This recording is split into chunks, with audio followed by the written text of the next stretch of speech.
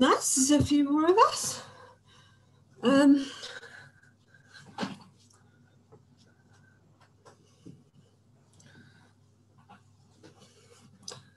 just getting rid of the small person. Um, she's only just woken up, lazy this morning. Um, right, so.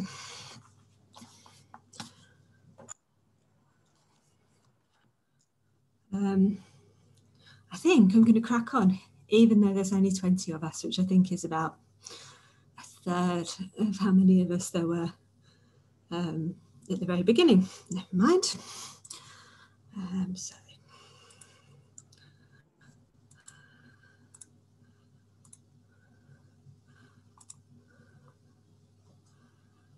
there's my work pad.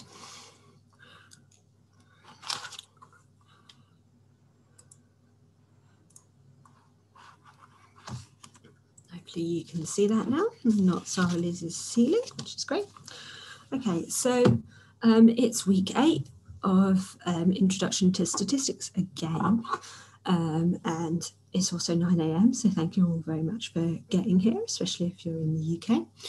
Um, so what we're going to do is we're going to do some of the questions together as we have done in previous weeks.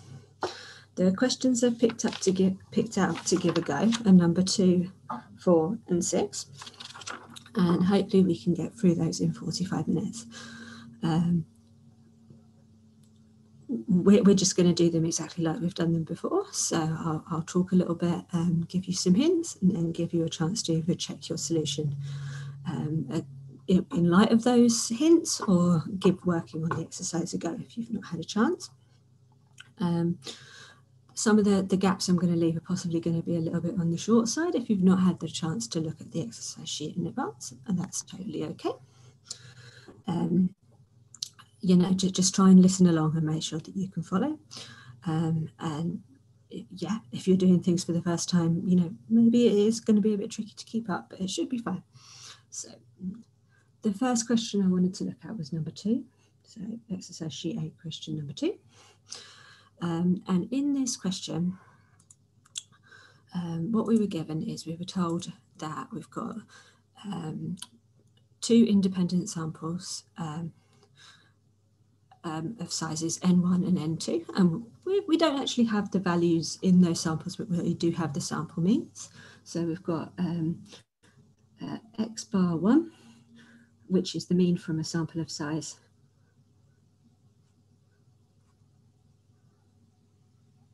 of size N1 and X bar 2 and that's similar. That's uh, the mean um, of, a, of a sample of size n2 and both of them are taking values um, from a distribution which is normal with mean mu and um, variance sigma, sigma squared. So what we've been told is that um, we know what sigma squared is and we'd like to try and come up with an estimate for what um, mu is. So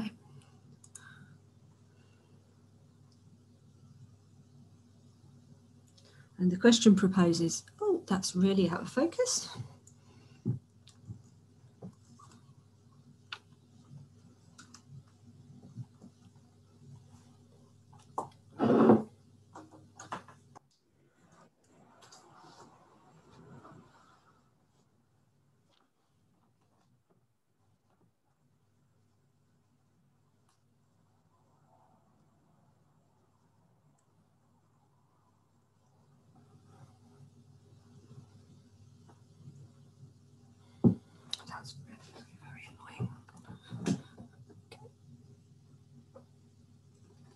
Bit, that's a little bit better.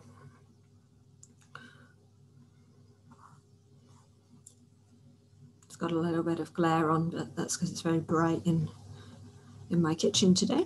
Um, so just shout if if it's difficult for you to follow what's um, what's going on on there. Let's turn that off. It's going to improve a little bit. No, not really.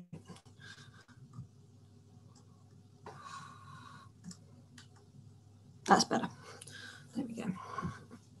Okay, So um, we don't know what mu is, and we've been given in the question that they want us to take an estimator um, for mu of the form mu hat um, is equal to um, alpha times x1 bar plus 1 minus alpha uh, x2 bar uh, for some alpha.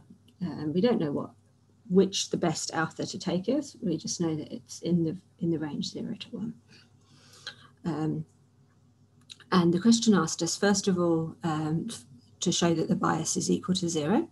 Um, and then secondly, to um, find out um, which value of alpha will minimize the variance. Um, so with the bias, what we need to do is we just need to remember what the formula is for the bias, which is it's the expectation of our estimator minus the, the actual mean and what's that going to look like. Um, so in order to do this, what I would suggest we need to do is we need to substitute the formula for the estimator into here. So into the expectation, we need to find the expectation of this guy. Um, and then we need to see whether it's different from mu or not. Um, so let's do that together.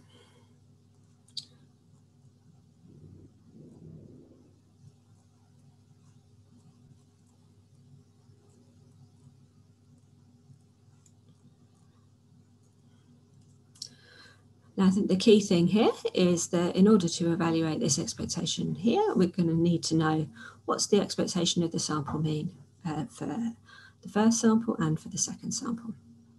So this information here that we were given, um, this should start us off quite nicely. So because we know um, that x bar is uh, the mean of a sample of size n1 and that each of the little individual x that go into uh, x bar 1 is normally distributed um, in this way, um, what I'm going to know, uh, what I can deduce is that x bar 1 is normally distributed with parameters mu and sigma squared divided by n1. And similarly, um, similarly with x2. x2 bar is normally distributed with parameters mu and sigma squared divided by n2. Okay, so that should be, um, so remembering uh, these properties of the sample mean should be enough to be able to get us to be able to calculate this. Now, the first thing is, is that we've got the sum of two random variables and the expectation of the sum is the sum of an expectation.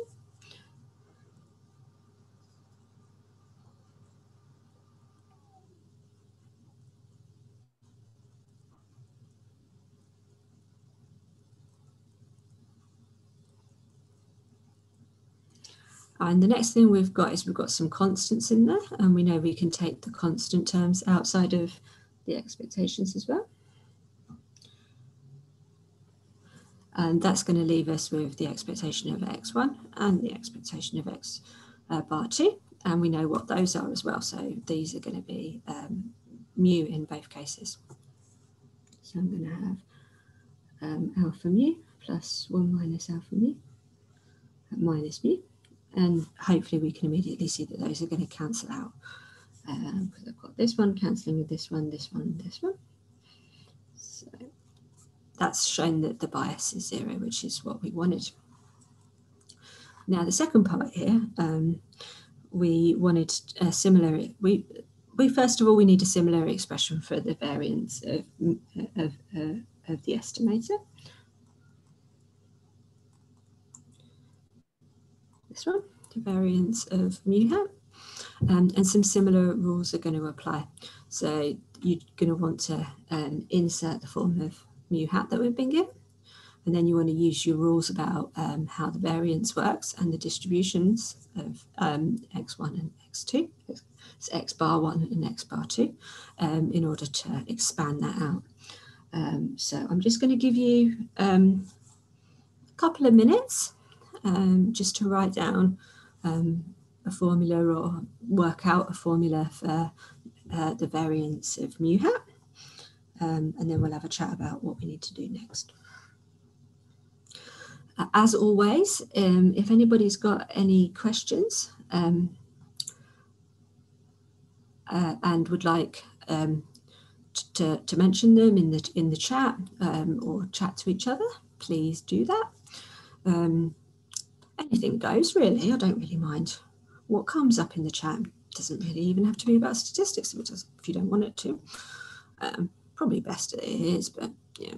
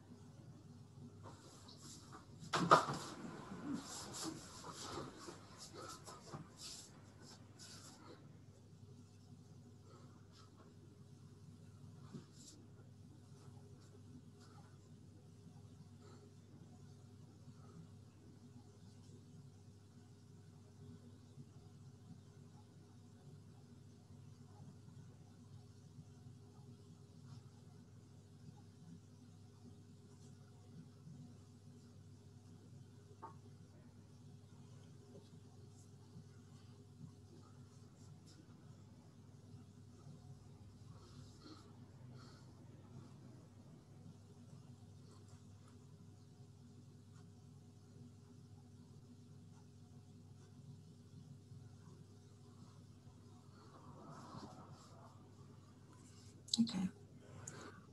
So the expression that I got for uh, the variance of mu hat is this guy here.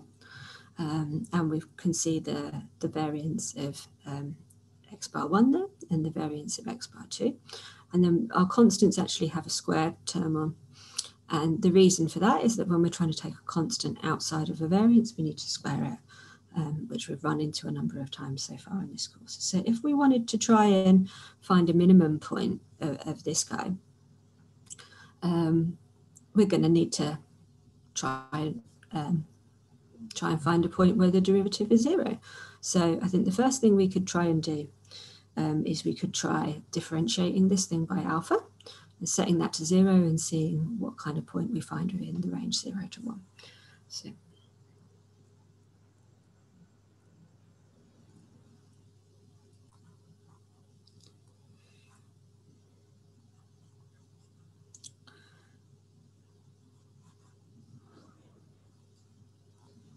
Okay. So maybe you can um, immediately see what to do with that. So we've got an alpha squared in this first term. So we're going to have 2 alpha and then the, the same constant, so sigma squared divided by n1. And, and I'll let you have a have a go at doing that second term just for just for a moment.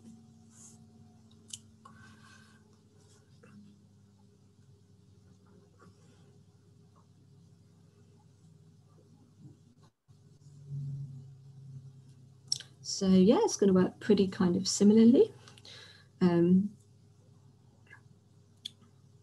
we're going to have um, 2 alpha minus 2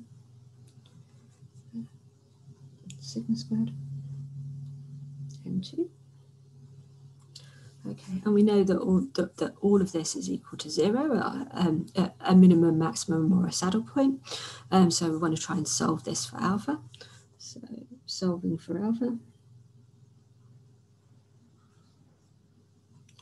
Well, I guess the first thing I'd quite like to do is I'd quite like to maybe get rid of the n1 and the n2 off the bottom of um, those fractions, um, just so that I can rearrange a little bit more easily. And I've got some things that occur everywhere, so I can maybe get rid of the 2 for, from everywhere, and I can get rid of the sigma. So let's try that.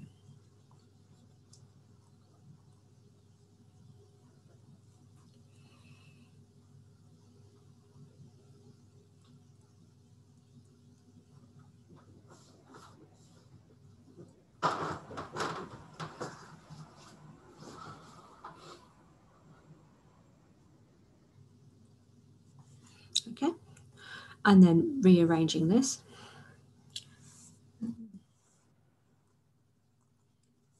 First thing I'm going to do is I'm going to multiply everything by n1 and then everything by n2. and then everything by n2.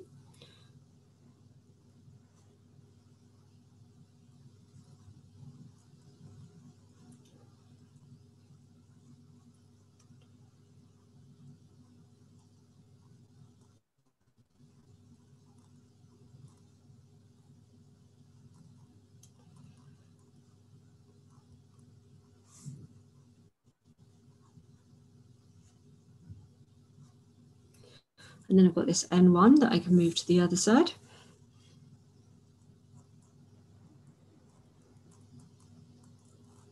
And then hopefully from there, we can immediately see that, uh, that there's going to be some kind of point of inflection um, at the point alpha mentioned in the question. Now, typically what you need to do at this point is you need to check the second order condition in order to see whether it's a minimum, a maximum or a saddle point.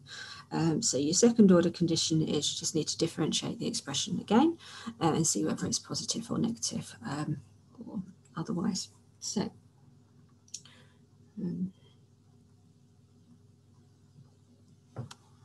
So next we need to check um, second derivative of the variance of mu hat uh, with respect to alpha. Okay. And again, I'm just going to give you a few minutes um, just to maybe do that if you've not done it so far or check your working and just check that you're happy with what's going on there and uh, whether or not you can show that that's a minimum.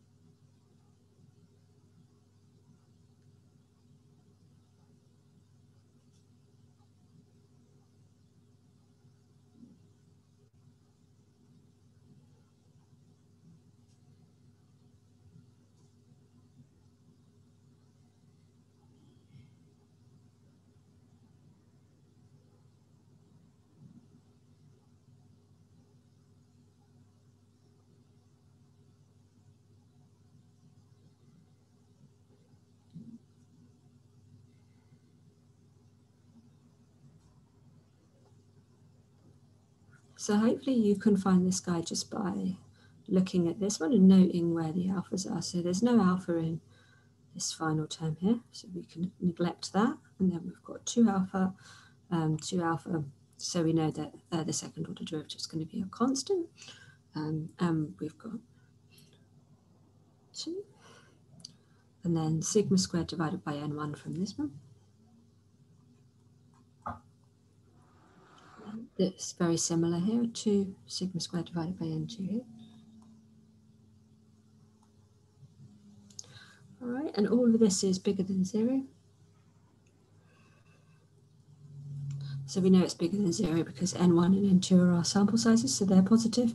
Um, and sigma's been squared, sigma's a real number, so um, it's it's also, when you square it, it's going to be positive as well.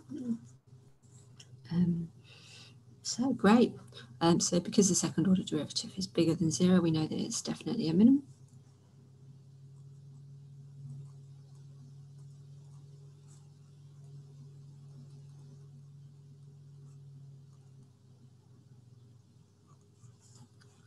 Okay, so then we're in that position of like, we're done um, with question two.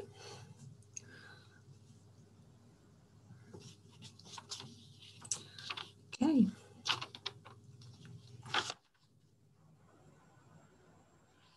Question four.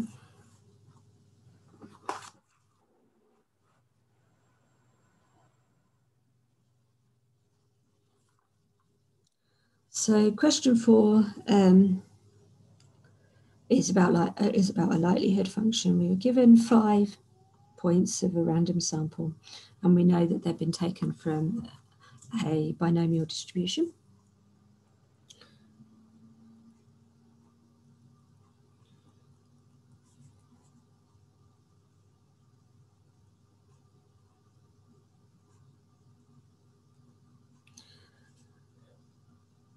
n is, n is equal to 3, and we don't know what the probability of a success is.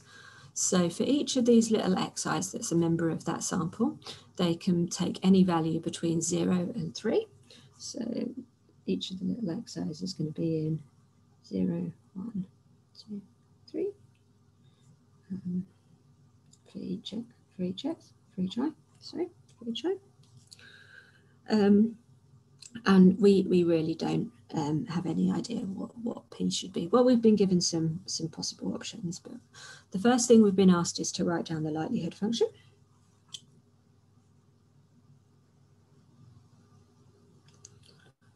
Okay, and how um, LP is made up is it's um, the product um, of the probability uh, that a random variable from this distribution takes the value that we can see in the sample. Um, so I'm going to have a product from i is equal to 1 to 5 because we've been given five little elements in our sample here.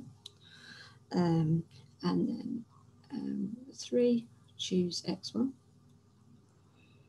xi, sorry, pxi, 1 minus p.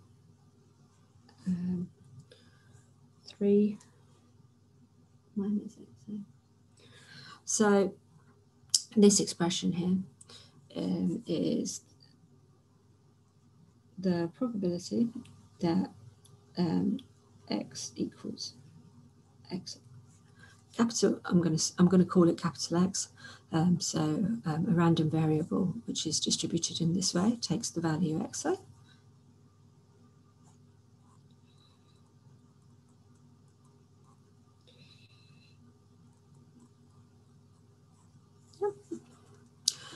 Okay, and you could leave it there. I mean, there's no harm in just leaving it at that point. Uh, that's the definition of what uh, the likelihood function is.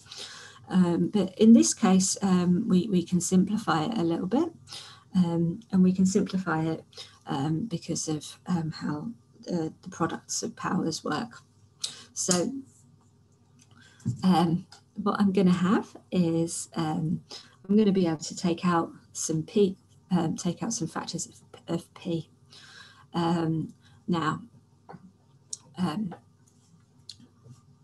what this term is going to have is it's going to have um, 3 choose x1 and px1, 1 minus p, 3 minus x1, etc. Um, and then the second term is going to look very similar but with x2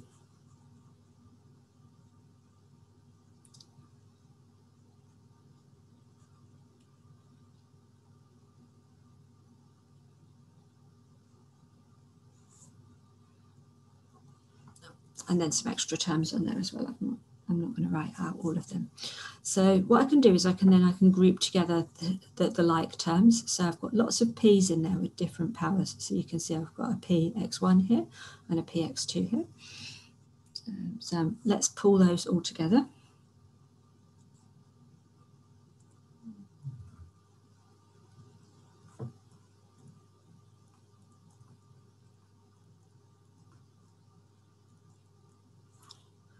Okay, lovely.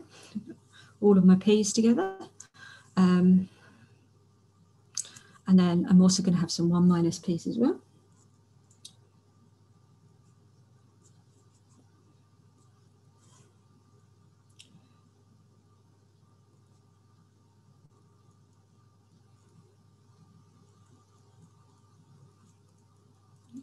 So some more of those.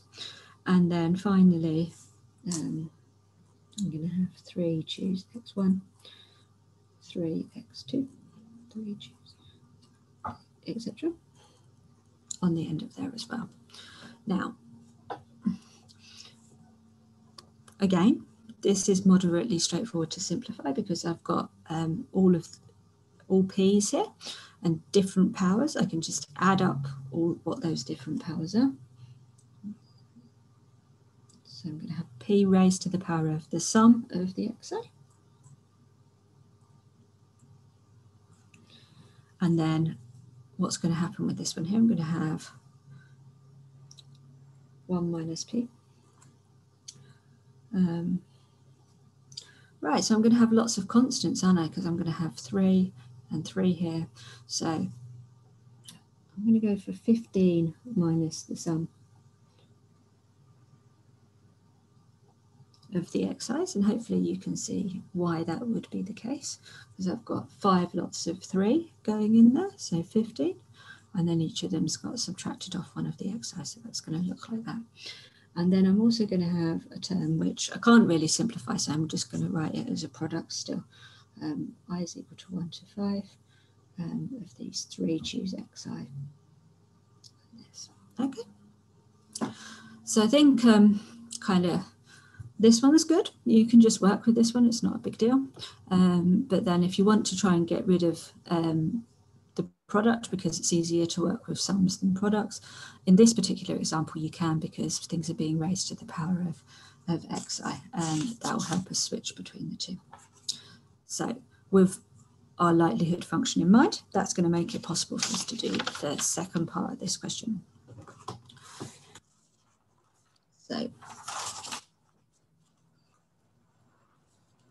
do the second part, we were actually given um, some values for, for the exercise.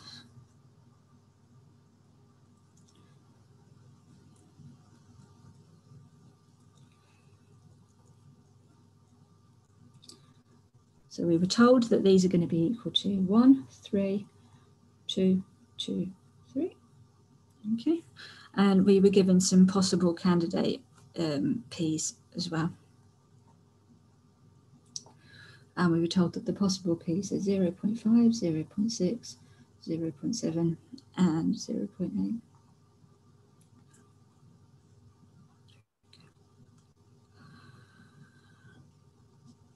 So what we'd like to do, or our ultimate goal, is to calculate the likelihood function at p for each of these p's, and then we'll pick which one's biggest. Um, so to help us along those kind of routes, if we're looking at um, the equation for p that we were given, or rather that we derived here, what we can see is in there is we can see that we've got uh, the sum of the xi's, and then we've got these three choose xi's. So if for each of the actual values of, of x1, x2, x3, etc., that we've been given, if we find out what the sum is and then what three choose xi is, these are going to be helpful for the formula.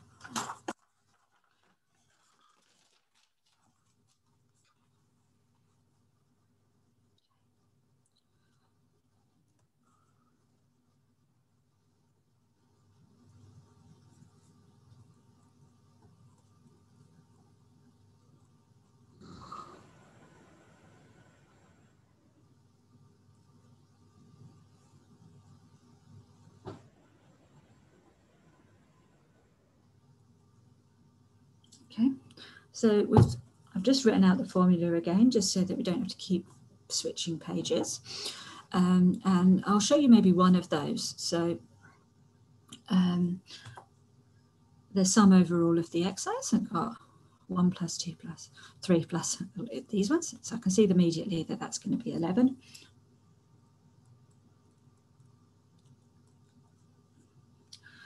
Okay, now, what about these terms here? So I've got um, in this product, um, three choose one, um, three choose three,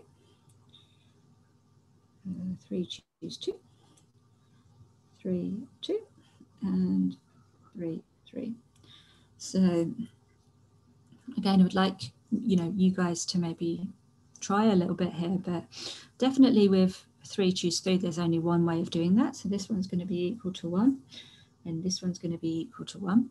And I think with three choose one, so I've got a sample size of, of, of three, I'm, I'm picking only one element. There's going to be three ways of doing that. Okay, so that's sort of getting me a little bit closer. Um, and then I don't, no, I'm not going to derive entirely the value of LP for 0.5 for you. I'll let you give all four of them a little bit of a go. I think the first thing you need to do is decide what values of the these are so that you know what your con this, this is going to end up being a constant term. We're going to have p to the uh, power of 11, 1 minus p to the value uh, power of 15 minus 11, so uh, to the power of 4. Um, and then you're just going to need to plug in your values of p.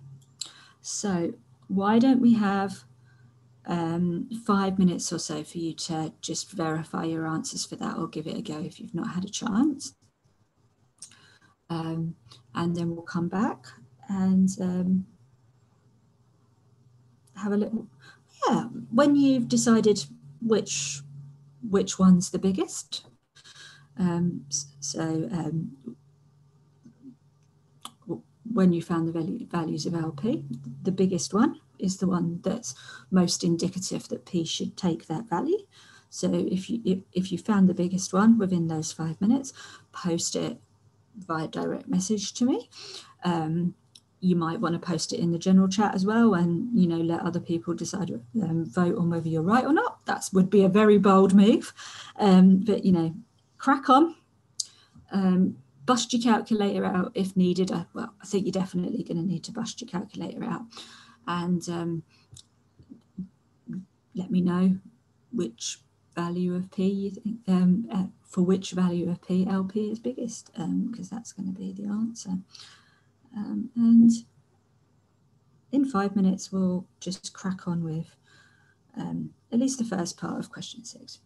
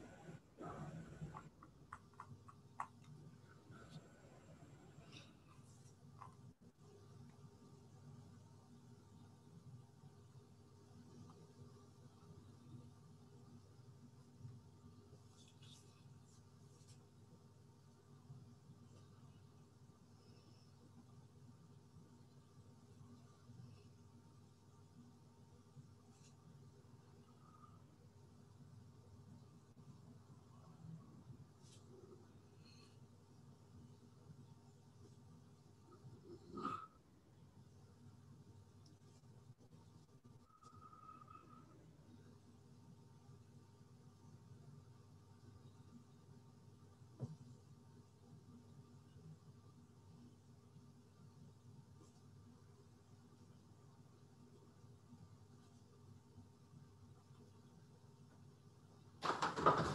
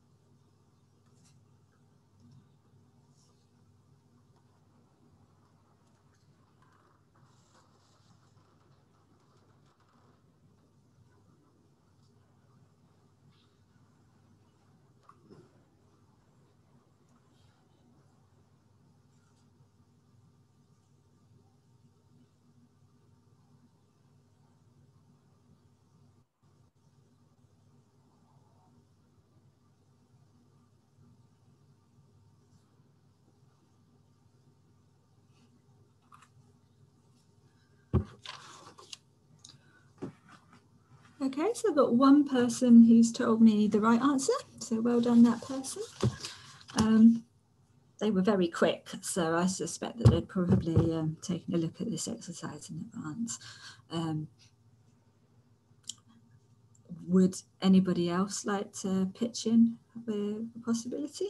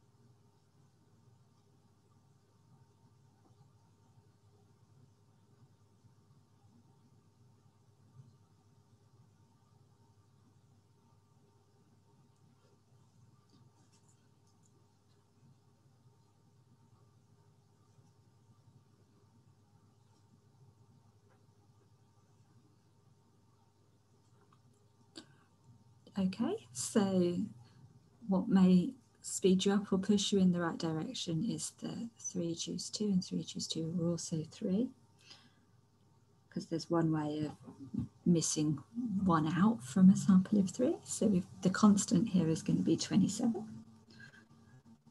And then with this in mind, so LP is then going to be 27 times p to the power of 11, 1 minus p to the power of 4. Um, and then you can stick in these values of p and you will find that this one is the biggest. Okay, so zero, the value of um, LP at zero, at P is equal to 0.7 is the biggest, which implies that of those values of P, um, you know, we've got more evidence that P is equal to 0.7 than any of the other values. Um, so our maximum likelihood um, estimate uh, is going to be um, P is equal to 0.7. Right, So question six, um, I would have liked to have given you a chance to uh, do the second part of this one, but we will see. Um, we've been given sigma as 0.8 from the question. Uh, we were given a sample of size n is equal to 10, and the values were given in the question. Um, and what we were asked for is a 95% confidence interval for the mean.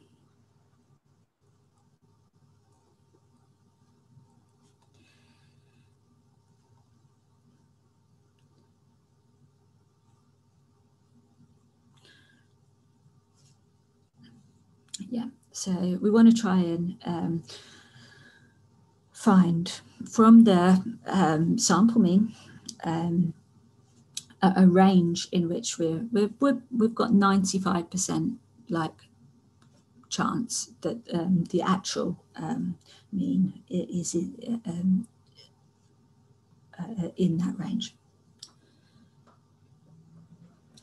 And um, how we go about doing this um, is we need to try and find, um, we just basically need to try and find the ends of that, uh, of that range. So we, um, the endpoints of this range um, are going to have the values. Um, well, we're going to, we want the sample mean to be slap bang in the middle. So that's the sample mean, we want that to be in the middle. And then we want plus or minus um, and then for a 95% um, uh, confidence interval, we want to be looking at um, a certain um, constant times by uh, the variance of, uh, of the sample, uh, so standard deviation of the sample. So um, what we're going to have is we're going to have z, and this is suff um, the suffix on this is 1 minus alpha divided by 2. Um, and here, the little alpha needs to be um, what's left over from this 95%. So it's going to be alpha is equal to 0 0.05. Okay. Um, and then we've got sigma divided by sigma divided by the square root of n. So, so these are going to be the, the two extremes um, of the confidence interval. And what exactly is this little z thing here? So um, So z minus 1 over alpha. Uh, uh, so uh, z um, at 1 minus alpha divided by 2 um, solves um, try um, z 1 divided by 2 equals um, 1 minus alpha over 2. So the Z that we're looking for um, is the value such that when I put it into the CDF of the normal distribution with parameters 0 and 1, I get out um, the same probability. So it's the uh, position of the um, appropriate quartile in this particular case. Now, for this one, I've been given, I'm looking for a 95th percentile. So I want to try and exclude 2.5% on each side, which is why I've got the divide by 2 here, is because I don't want all of the 5% on one side, because that would mean that um, the amount of the distribution between um, the two extremes is going to be um, not 95%.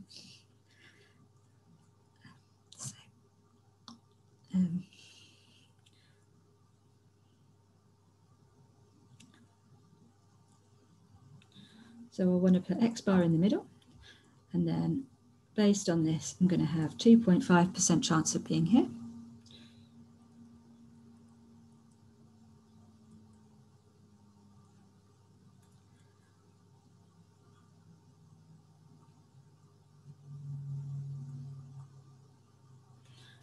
And if that's the case, then the value here is Z of 0.975 um, and sigma divided by square root of n, which in our case uh, is determined by these. Okay. So the, the really the only difficult thing here is to try and solve this thing. So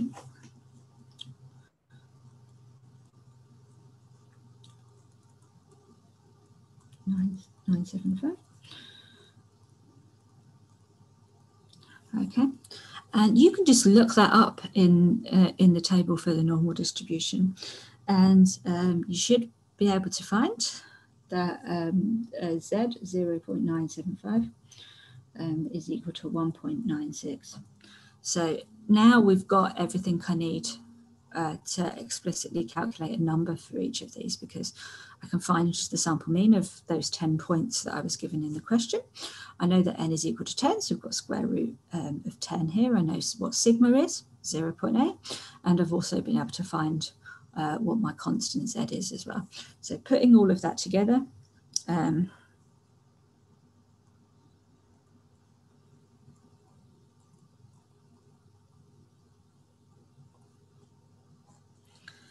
um, 11.448 minus 1.96 times 0.8 divided by square root of 10. And then for the upper bound, I just need to change the sign here. So I'm going to have 11.48 plus 1.96 times 0.8 divided by square root of 10. So I realize that I'm bang out of time now and I can't really let let you have the opportunity to go away and try the 90th.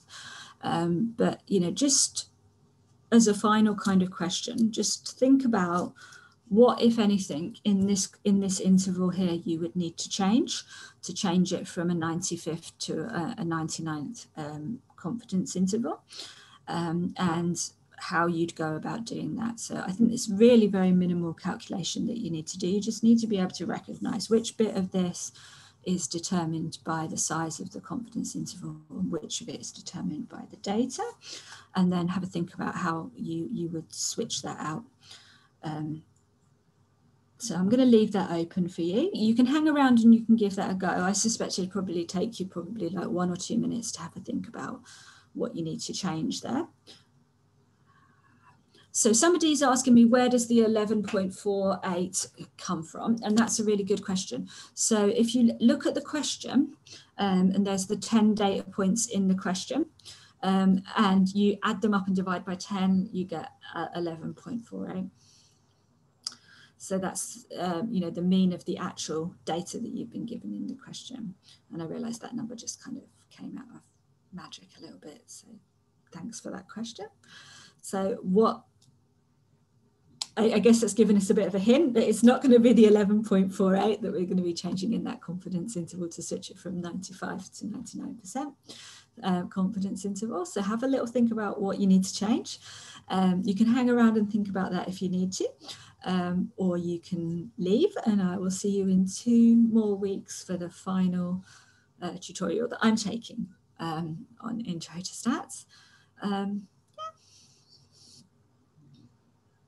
I'm, I'm just going to hang around until 10 to answer any questions that you've got there.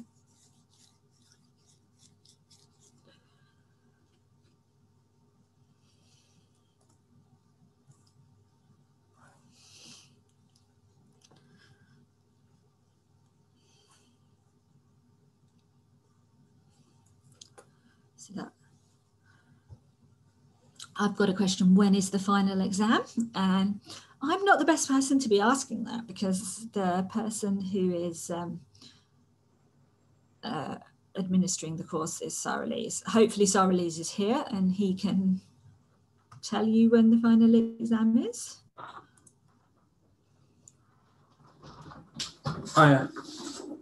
Yeah. Hi. Uh, thank you.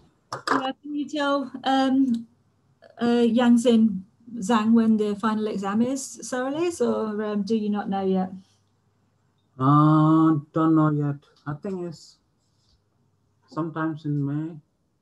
Yeah, okay, okay. Um, Yeah, so the exam period starts from the 17th of May, um, runs at least Yeah. four weeks, and I don't know when the maths exams are in that in that period, whether you get early exams or late exams typically in maths. yeah. Yeah, we'll just have to wait and see, won't we? Yeah. Yeah, okay. Well, thank you very much for letting me use your channel, Sarah Lees, and I'll see yeah my you. Thank you for your time and No worries. See you soon. Bye bye. see you. bye.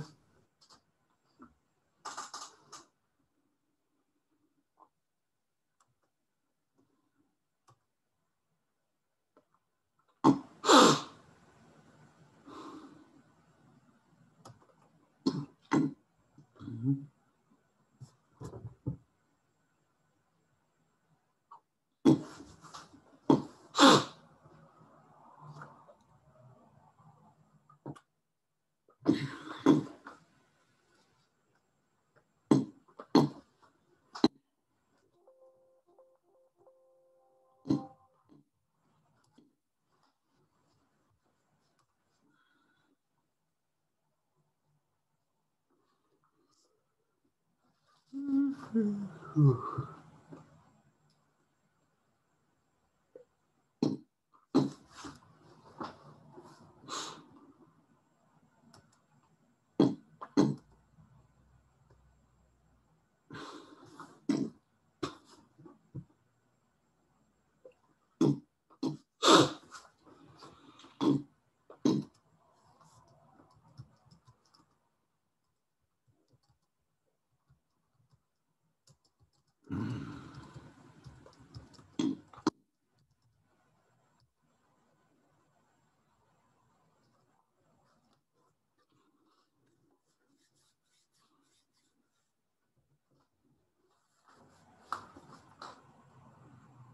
Hello guys, you okay?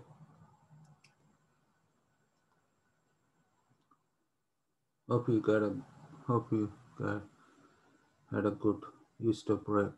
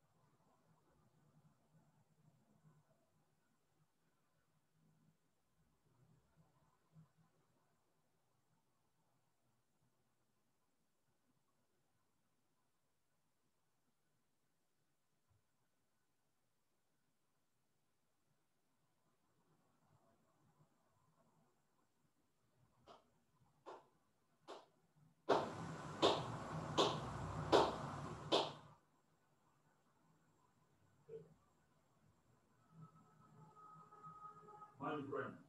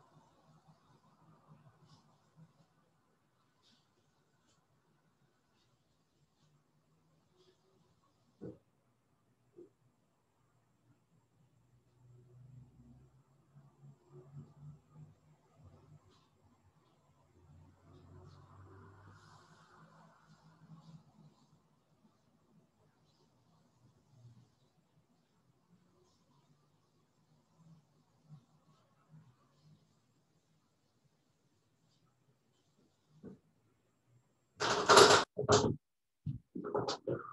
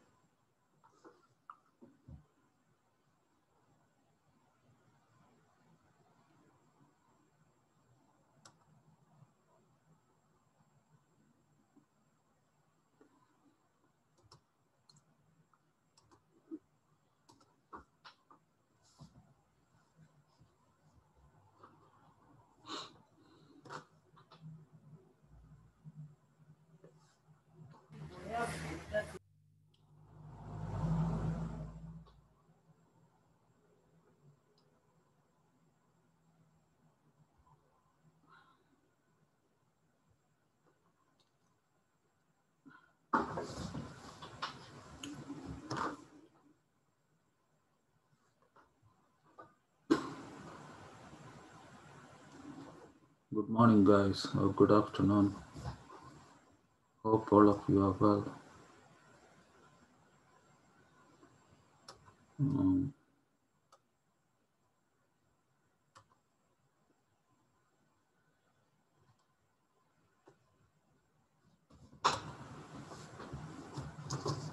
all right, guys. Um, so this is a tutorial session for week eight. Um, today I'm going to go through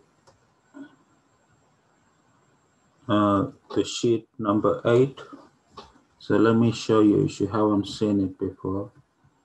Um, if you go to week eight, this is the this is the tutorial sheet for today, right? There are there are seven questions. I will try to do as many as I can. Okay, guys. Um, and as usual, uh, when, uh, any questions, any questions you guys have, please feel free to write to me using using the chat room. Okay. Okay. Hope you guys had a good a good Easter break. Good to see you back uh, back here. Okay, so let's start with um, let's start with the last question first, right? So let me change the camera just a minute. Um, so I, I will start with question seven and work backwards, right? So question seven uh, says the following, that is, uh, you have um, uh, engineering engineering firm that that makes a component, right? And that, that component has a, a lifetime with the standard deviation of 3.4, right? And uh, and it also and you're taking a sample of nine components, and their average lifetime is 100.8. Okay, and the question is to find the 95% and 98% confidence intervals for the mean life, right? Now, if you if you listen to the you if you guys if you guys listen to the uh, the review session yesterday, right? You would have noticed that I gave you several formula for confidence intervals. The one you need to use in this for this question is the following. This, this is the formula that you need to use for this question because we are assuming that the, we are, the, the question says explicitly that the population standard deviation is, is known and is equal to 3.4. So this is the this is the formula that we will we will use for this question. All right. Now, all right, the sigma is given to us as 3.4 our n, n is the sample size, is given to us as nine. And x bar, x bar is the sample mean and is given to us as equal to 100.8. All right, so all we have to do is just work this out. Now we want the 95 and the 98%. So, so let's consider the 95 first. So your 100 times 1 minus alpha is 95, all right? So, so your alpha, so your alpha, uh, your one minus alpha, I mean, is gonna be 0 0.95 and your alpha will be 0 0.05, okay? All right, so, so your Z one minus alpha by two is gonna be Z 0.975. Now, if you read this off the table, I, I showed you in the video the, how to read this, right, in the, from the normal table. If you haven't seen the video, please do so. Uh, this will be equal to 1.96, right? So now if you put all these numbers into this formula, if you put all these numbers into this formula, you will get x bar, which is 100.8 plus or minus 1.96 multiplied by 3.4 divided by square root of 9. Okay, guys? And if you, if you work this out using a calculator, the lower limit of the confidence interval will be this, and the upper limit is this. So this is the 95% confidence interval for the mean lifetime, okay, of the component. All right, guys, any questions so far? Please, please let me know. So now part two, part two of the same question is asking you to find the 98% confidence interval. So 100 times one minus alpha is, is 98, which implies that one minus alpha is 0.98. Okay. And this implies that alpha is 0 0.02. And this implies that uh, Z1 minus alpha by 2 is Z 0 0.99. And once again, if you read this off the table, the normal table, I explained how to do that in the video you will get this to be 2.326, right? Now, once again, if you use the, the formula at the very top of this page, right? If you use the formula, you get 100.8 plus or minus 2.326 times 3.4 divided by the square root of 9. All right, and this if you simplify this, is gonna be 98.16 from 103.44. So this is the 98% confidence interval for the mean lifetime, okay? Are you guys okay with this? Uh, please. Hello guys, talk to me. Are you, are you okay with this question? Yeah, all of you okay? Is it just me, Vikram? All of you guys okay? Okay, thank you guys. Okay. All right, so I'm done with question question seven. So I've just finished question seven if you're joining me. So the next thing I'm gonna look at is question six. Question six is about a chemical concentration in a fish caught in Lake, Lake Michigan and you are told that the standard deviation is 0.8 per million and the sample size is 10 and these are the data values for the 10 fish that are caught. Um, and the question is to find the 95 and the 99% confidence interval.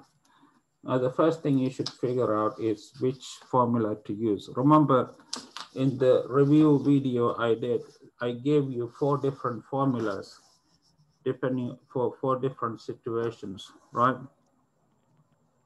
In this case, once again, the standard deviation is given to you as 0.8. Okay, the standard deviation is given to you. So the formula that you need to use is the following, it's the same as the previous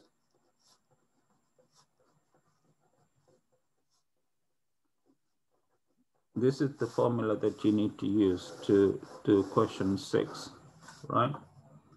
Okay, guys, so your sigma is 0 0.8, your n is 10, and your x bar, x bar is the sample mean. In other words, in this case, it's the mean of these 10 different numbers. So what you need to do is to, is to take the sum of these 10 numbers and divide by 10.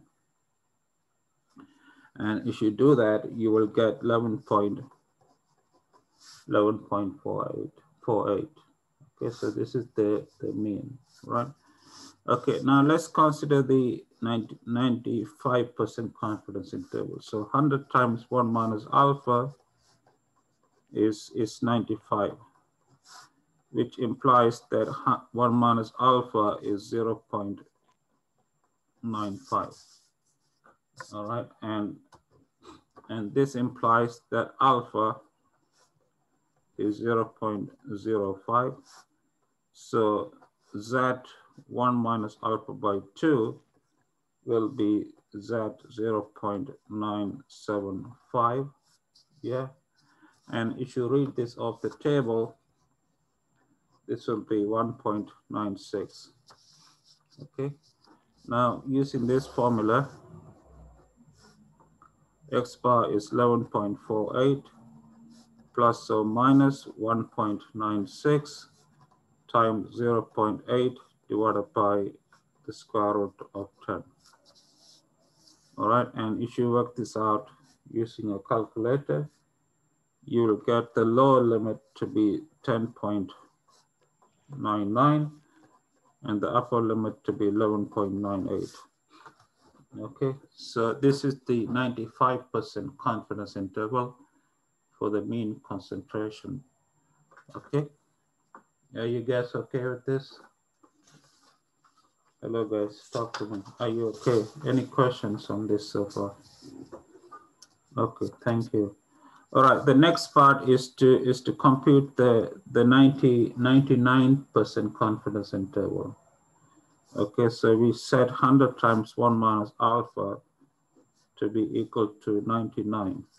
Right, so your alpha, so your 1 minus alpha is 0 0.99 and your alpha is 0 0.01 and your z uh, this guy is gonna be 0.995. And if you read this off the table, you will get to be 2.576. All right.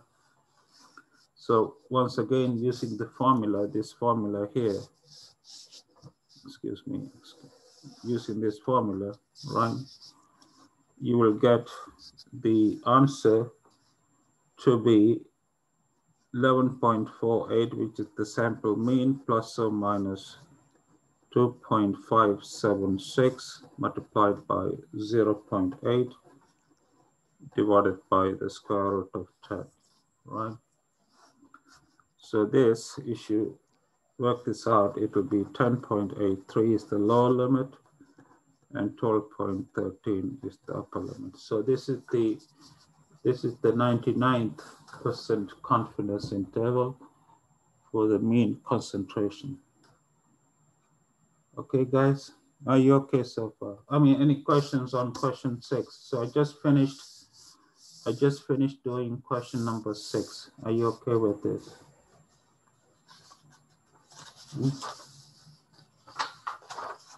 Hello guys, talk to me please. Okay, thank you. All right, thank you guys. So the next question I'm gonna look at, the, the next question I'm gonna look at is question five. Question five is on maximum likelihood estimation. So you have a random sample from a geometric distribution with unknown parameter P. The first step is to write down the likelihood and the log likelihood.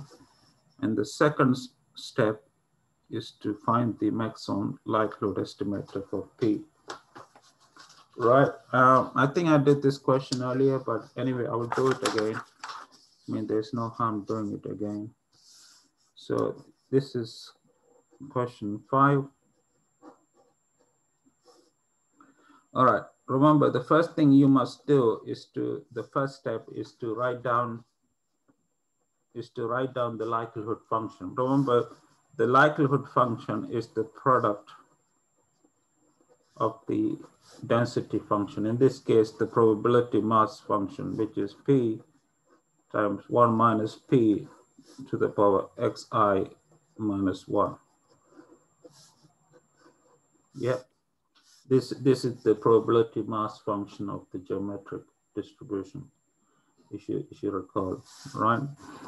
Okay, now this you can write as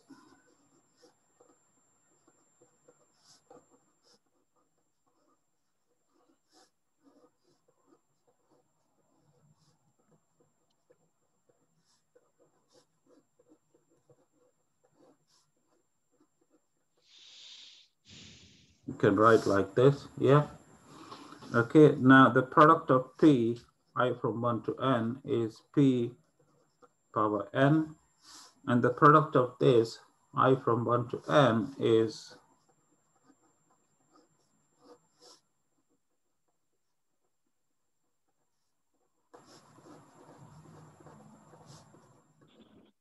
okay, like this, yeah? Now this can be simplified further.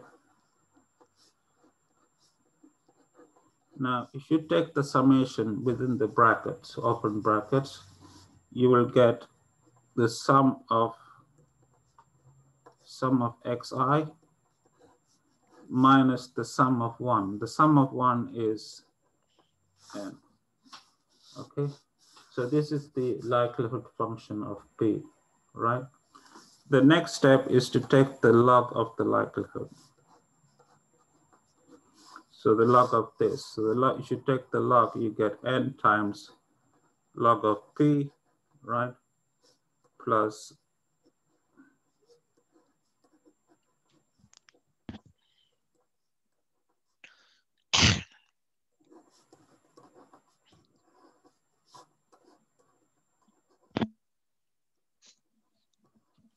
All right, this is the log of the likelihood. Okay, are you guys okay? Mean, if you have any questions, please feel free to use the chat room. Okay. All right, so that's the part one. Part two is to is to find the MLE. Remember, to find the MLE, the first thing you should do is to is to take the derivative with respect to p. So the derivative of this with respect to p is n divided by p minus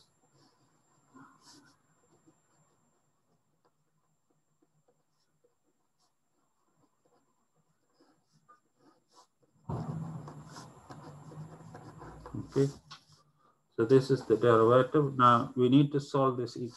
We need to set this to zero and solve for p. So that's what I'm going to do now. So this becomes n by n divided by p equal to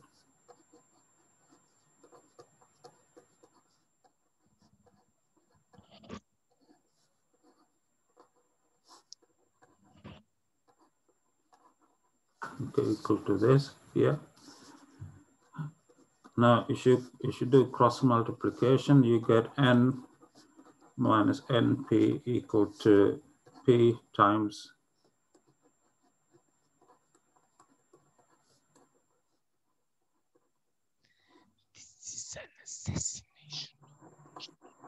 Okay, you guys okay so far?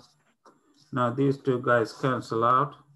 So the solution for P, let me call it P hat. The solution for P is N divided by the sum of Xi. All right, which you can write as one, one divided are you guys okay? All right, so this is the solution for p hat. Now to make sure that this is a maximum likelihood estimator, you need to take the second order derivative. Right, I'm gonna do it on a new page. So let me show you the, the second order derivative of the log likelihood with respect to p right, is the first order derivative of this with respect to p. So this is gonna be minus n over p squared minus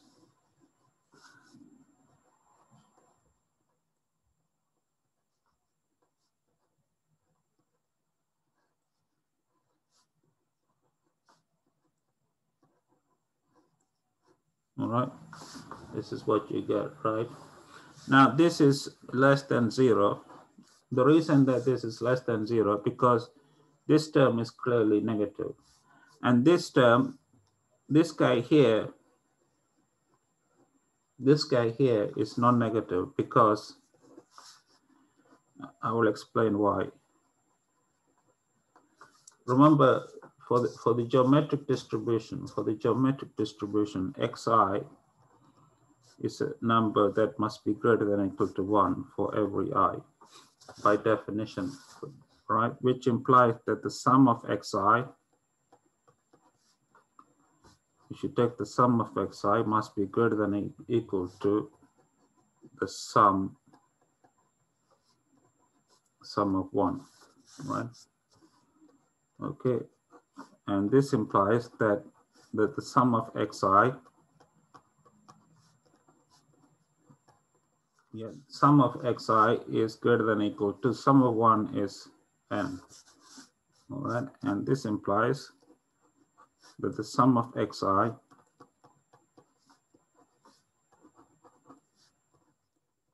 minus n must be greater than equal to zero. Okay, so in other words, this guy here is greater than equal to zero. And hence, because this is a negative number and this is non-negative, the whole thing must be less than zero. So hence we have shown, hence we have shown that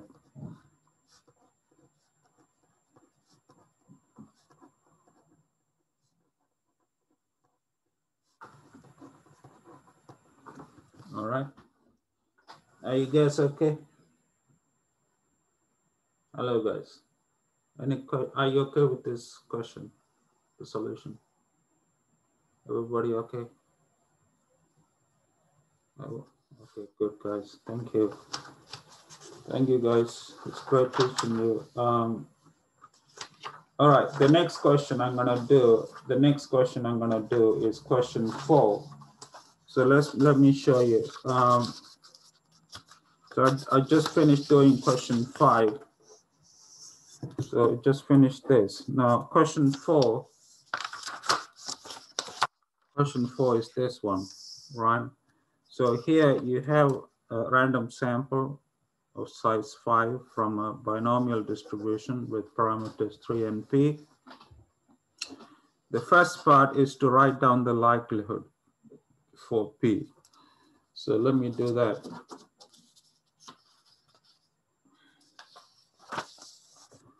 So this is question number four. So, so we have uh, five, five data points. We have five data points coming from a binomial distribution with parameters three and p.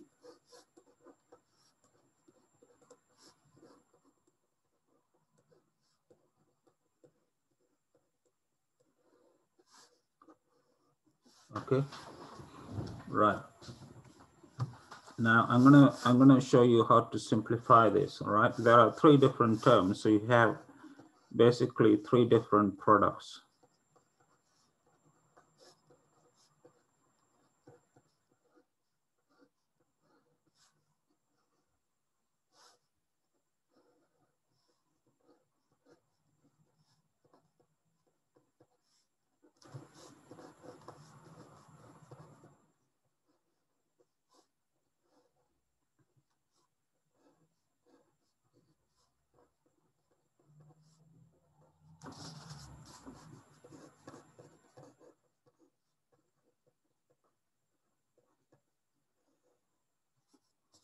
Okay. All right, guys. Okay, now the, the first product, you can't simplify it. So you have to just write it like this.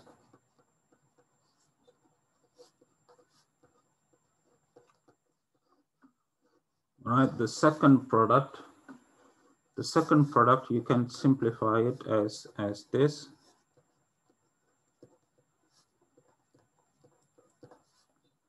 Yeah, and the third product, you can simplify it as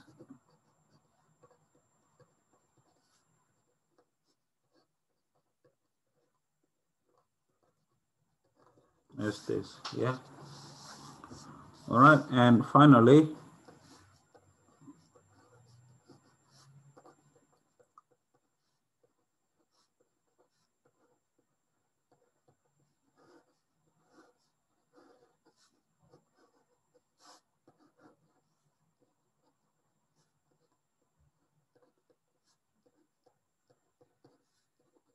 Now, if you take the product, if you take, sorry, if you take the sum inside the, the brackets, right, you will get the following.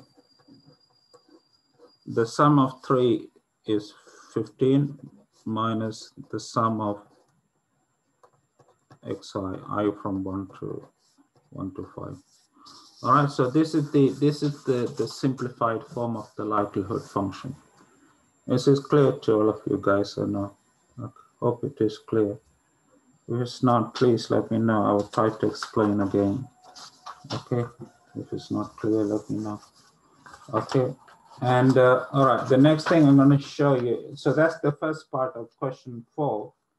The, the second part of question four is to, okay, let me show you. This is part two. Part two of question four. It, it given you the values for the for the x's one, three, two, two, three, and it's asking you to compute the maximum likelihood estimator out of this. All right, so let me show you. So what you're given, what you're given is the following, guys. You're told that x1 is equal to one, x2 is equal to three, x3 uh, is equal to two, x4 is equal to two, x5 is equal to 3, right? Okay, so now what I'm going to do is I'm going to sub this into this formula and simplify it, right? Um, now, if you take the sum of these five numbers, right, you get this to be equal to 11, right? Okay, so this guy here you can simplify to the following. Right, it becomes uh, three choose one, three choose three, three choose two, three choose two,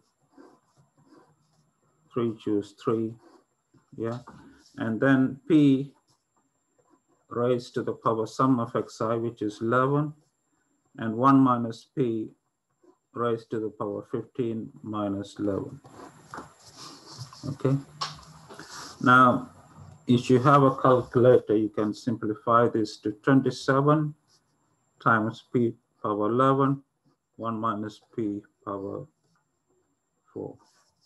All right, so this is the, the, the, the simplified form of the likelihood for, for these values of the x's, right? All right, the next thing the question is asking you is, the question tells you that the, diff, the values that P can take are one of these, 0 0.5, 0 0.6, 0 0.7, or 0 0.8, right? Okay, now what I'm gonna do is I'm gonna compute this, this function here at each of these values. So when P is 0 0.5, if you do the calculations in a calculator, well, you will see this. This is what you will get when P is equal to 0 0.5. When P is 0 0.6, it is 2.51. When P is 0 0.7, it will be 4.32.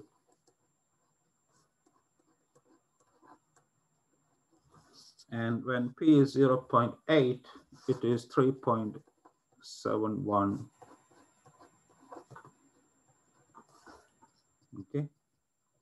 Now, now what which remember the, the maximum likelihood estimator is the is the parameter value for which the likelihood is the largest.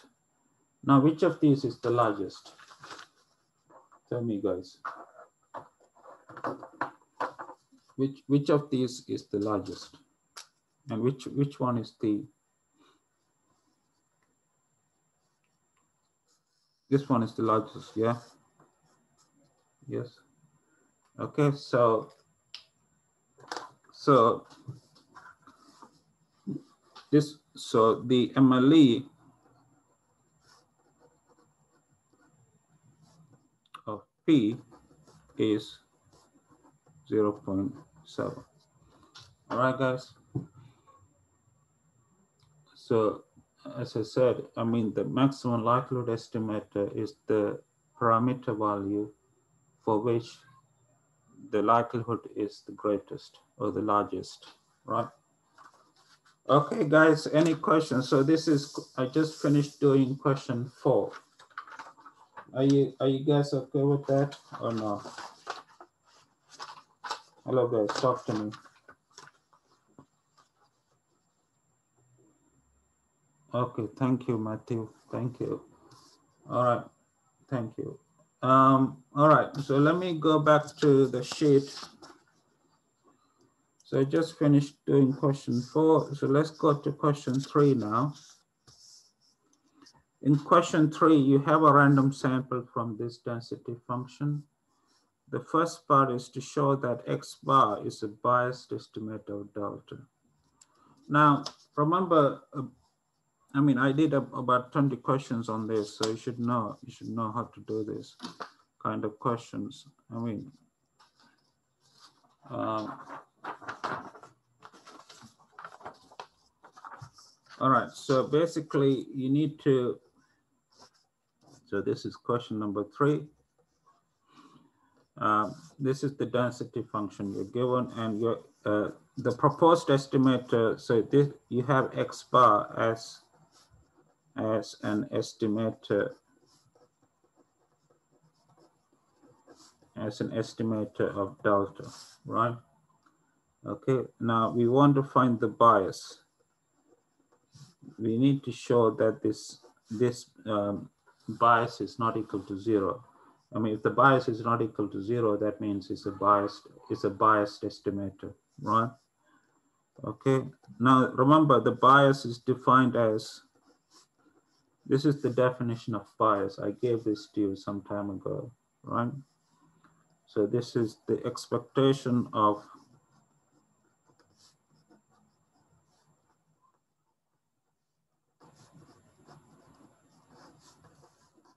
right? Now take the expectation inside, you get one over n times the sum of the expectation of xi minus delta, right? Now to find the expectation of xi, you, need to just do the integration. You are given the density function, right? So you just need to do the integration. So this will be one over n times the sum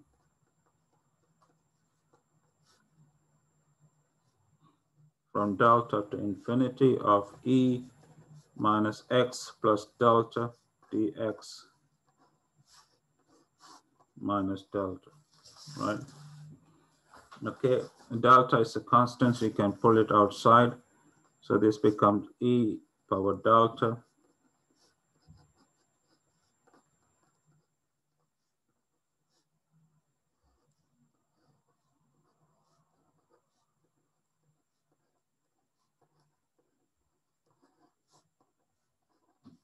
Okay.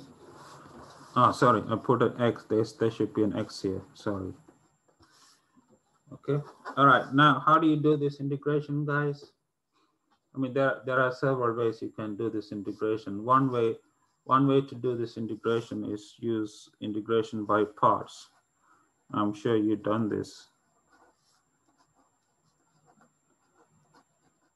I'm sure you know integration by parts, don't you? Yeah.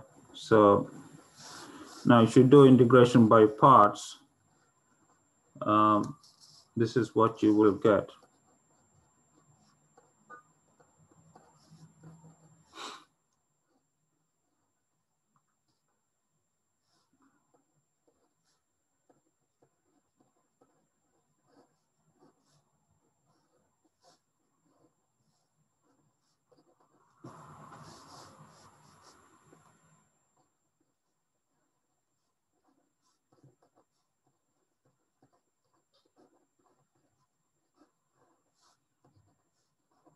This is what you will get all right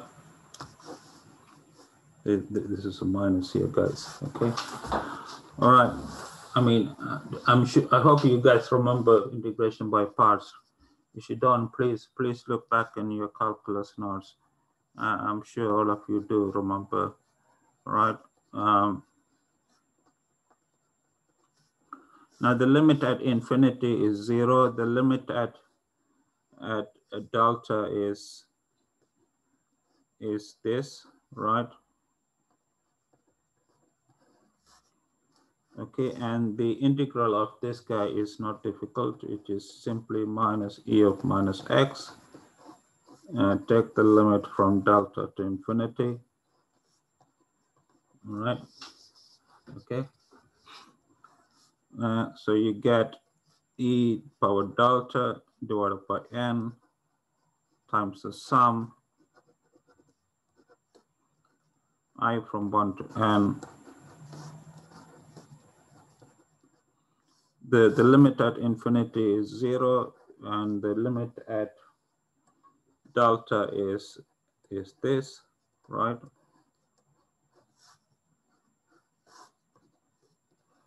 Okay, all right. So now if you multiply, you see there's a e to the power delta outside. So if you multiply, if you bring that inside the brackets and multiply, this is what you will get. You will get 1 over n times the sum of delta plus 1. Okay. All right, guys, are you, are you with me so far? Let me know if you're not. Okay, so this is going to be 1 over n. Now, this is a constant. So the sum of a constant is simply n times the constant. Okay, so this is gonna be delta plus one minus delta, which is equal to one and which is not equal to zero. So we have shown, so what we have shown guys is that that X bar is a biased estimator.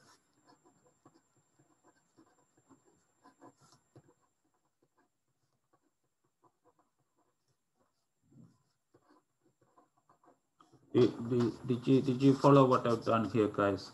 I know it, it looks kind of lengthy, but it's it's basic calculus, guys. It's not difficult. Are you are you okay with this? Hello, guys. Are you sure? Okay.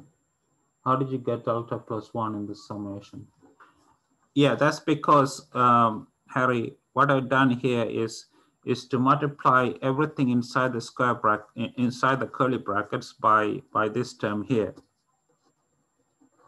So if you bring this, if you bring this inside here, Harry, yeah, you get delta times this times this, which is delta plus zero. Then you have minus minus, which is plus. And this multiplied by this is, is simply one, right? Do you see that or not? Okay, so that's how you get delta plus one here. Okay, good. All right, so that's the first part. That's only the first part of question question three. Uh, the second part, the second part of question three, so this is part two, is to derive, okay, we have already found the bias, right? We have already found the bias of X bar to be equal to one and discuss what happens to its value as n goes to infinity. Now, if you take the limit of this, you should take the limit of this as n goes to infinity, right? That will still be one because one is a constant, right? One is a constant, so the limit as n tends to infinity will still be one. Okay, so it's a trivial. All right, so now part three. Let's go to question three, part three now. Can you propose an alternative unbiased estimate of delta? Right, now to answer this, let's go back to part one. We should go back to part one. You see, we got the bias, the bias of the we got the bias of x bar to be equal to one, right? Now for an estimator to be unbiased, this must be zero, All right, so one way you can make this zero is to take away one from, from x bar. So that's what I'm gonna do. So I'm gonna define, I'm gonna define a new estimator. Define a new estimator as, let's call this delta hat, right? And let's call this X bar take away one, right? All right, then, then the bias of delta hat, right? Okay, it's gonna be the expectation of delta hat minus delta, which is the expectation of x bar minus one minus delta. And this is the expectation of x bar minus 1 minus delta. And we know from the first part, we know from part 1 that the expectation of x bar is delta plus 1. All right, so this is this is 0. So we have shown so we have shown that the new estimator is unbiased. Remember, uh, estimator is unbiased if the bias is zero, right? It's unbiased for, for delta. All right, so this completes this completes question number three. Are you guys okay with this or no? Any questions on question three, guys? Please let me know. Don't be shy. I'm here to help you 24 seven. Anything I can do, let me know, right? All right, thank you guys. So let's, so we are done with question three. The next question I'm gonna do is question two. So here we have uh, two sample means corresponding to sample sizes of N1 and N2 from this distribution. And uh, there are two parts. The first part is to show that this is a, has bias equal to zero as an estimator for mu, right?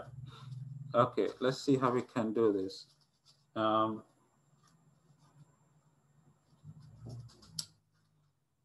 excuse me, just a minute. Um,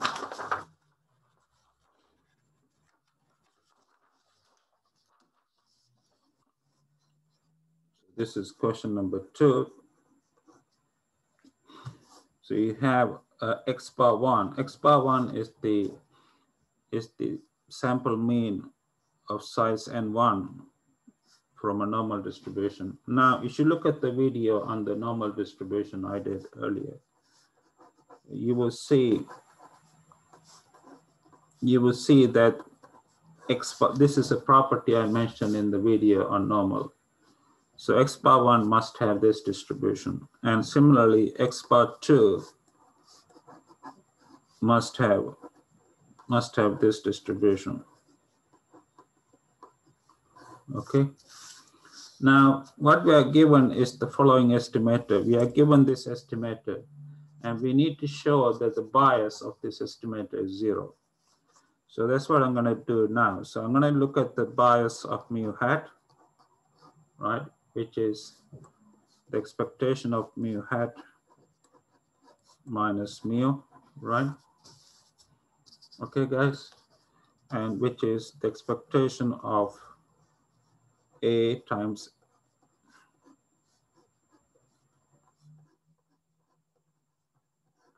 minus mu, right?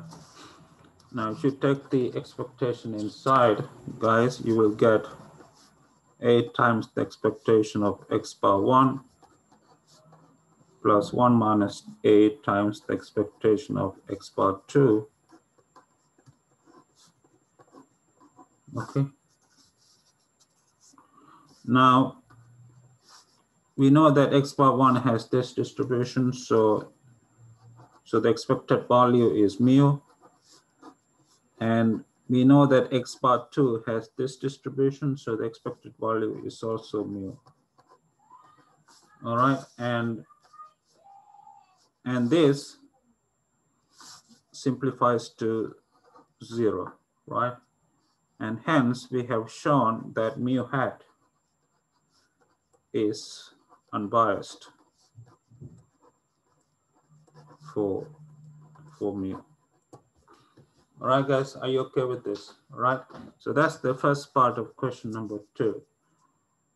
The second part of question number two is to find the variance, to find the variance of the estimator. So, so we are looking for the variance of mu hat, right, which is the variance of a times x bar 1 plus 1 minus a times x bar 2. Now, if you take the variance inside, it becomes a squared times the variance of, of this plus 1 minus a squared times the variance of, of this, right? Remember, a is a constant. So when when you take the variance inside, in, sorry, inside, you need to square the constant. So a becomes a squared and 1 minus a becomes 1 minus a squared, right? Now, we know from, from this property here that the variance of x bar 1 is, is this, yeah, and we know from this property that the variance of x bar 2 is is this, right? Okay, so you can write this as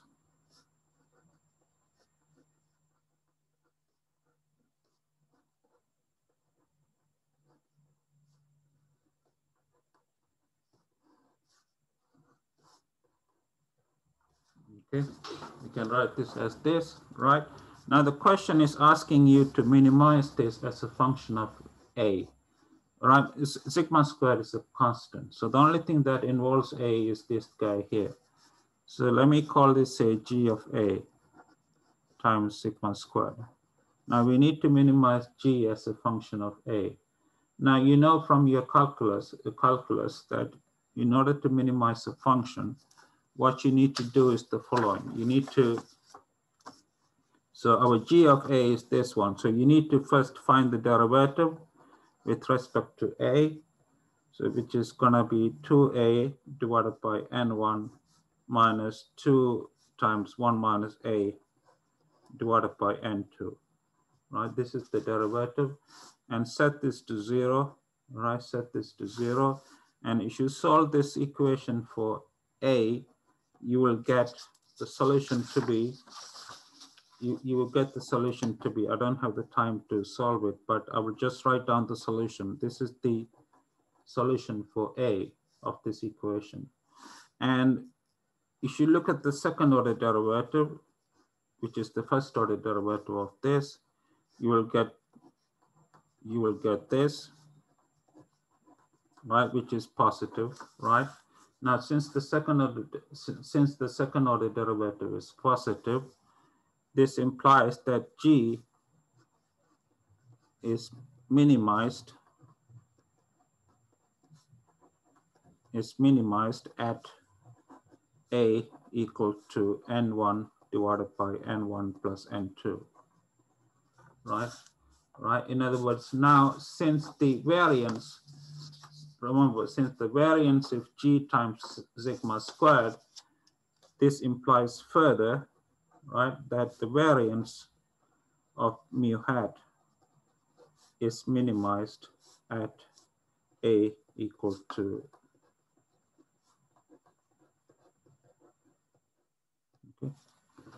All right, guys, so that completes, I know I kind of rushed because of the time, but I, that completes question number two of the tutorial sheet. Are you guys okay with this? Or I, did you did you follow what I did with this question? Is it? Yeah, it is called optimization. Yeah, it, you are right, Matthew. Yeah. So what I've done is to is to optimize the function g with respect to a, and I found I I, I found out that g attains the minimum value when a is equal to n1 divided by n1 plus n2. Any questions, guys? Any other questions you have? You okay? All of you sure?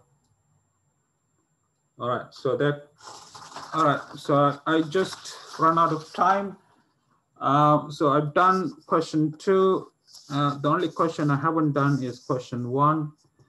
I will, uh, I will, this is not a difficult question, but I will post the full solutions to all the eight questions uh, on Thursday of this week.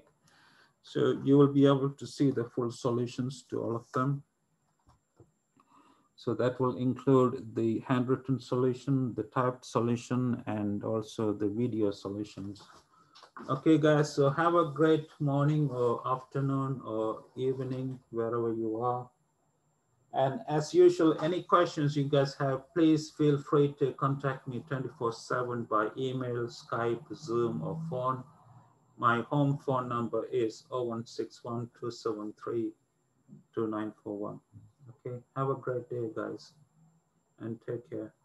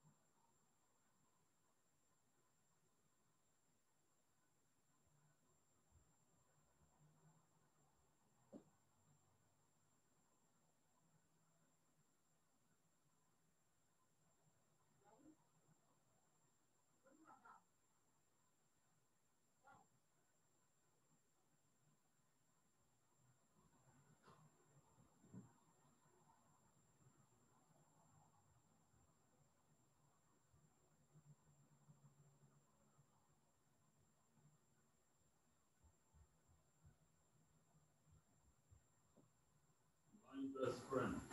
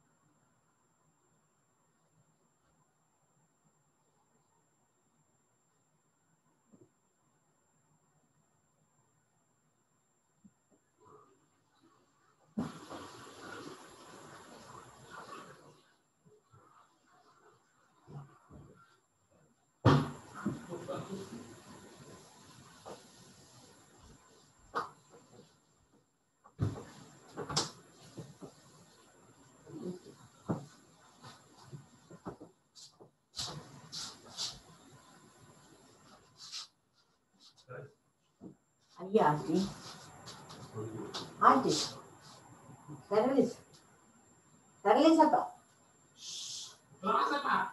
உனக்கு என்ன சமைச்சு தர சாப்பாடு fried rice செய்தரட்டா fried rice and chicken சாப்பிடுறியா fried rice and chicken you want eat it's okay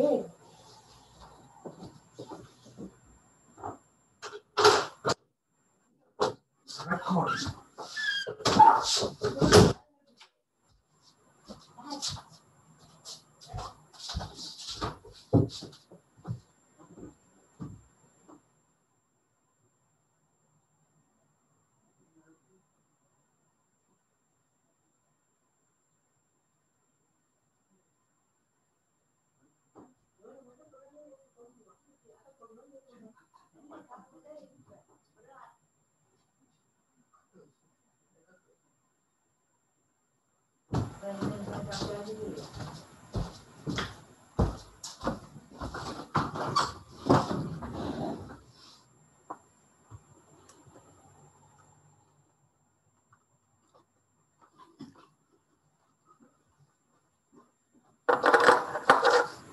Hello, guys.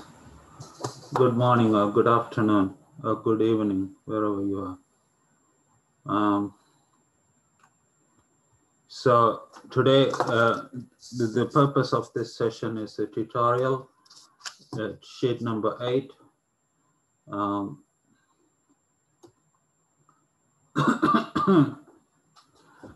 Um, so I'm gonna go through, there are, there are seven, there are seven questions in this tutorial sheet.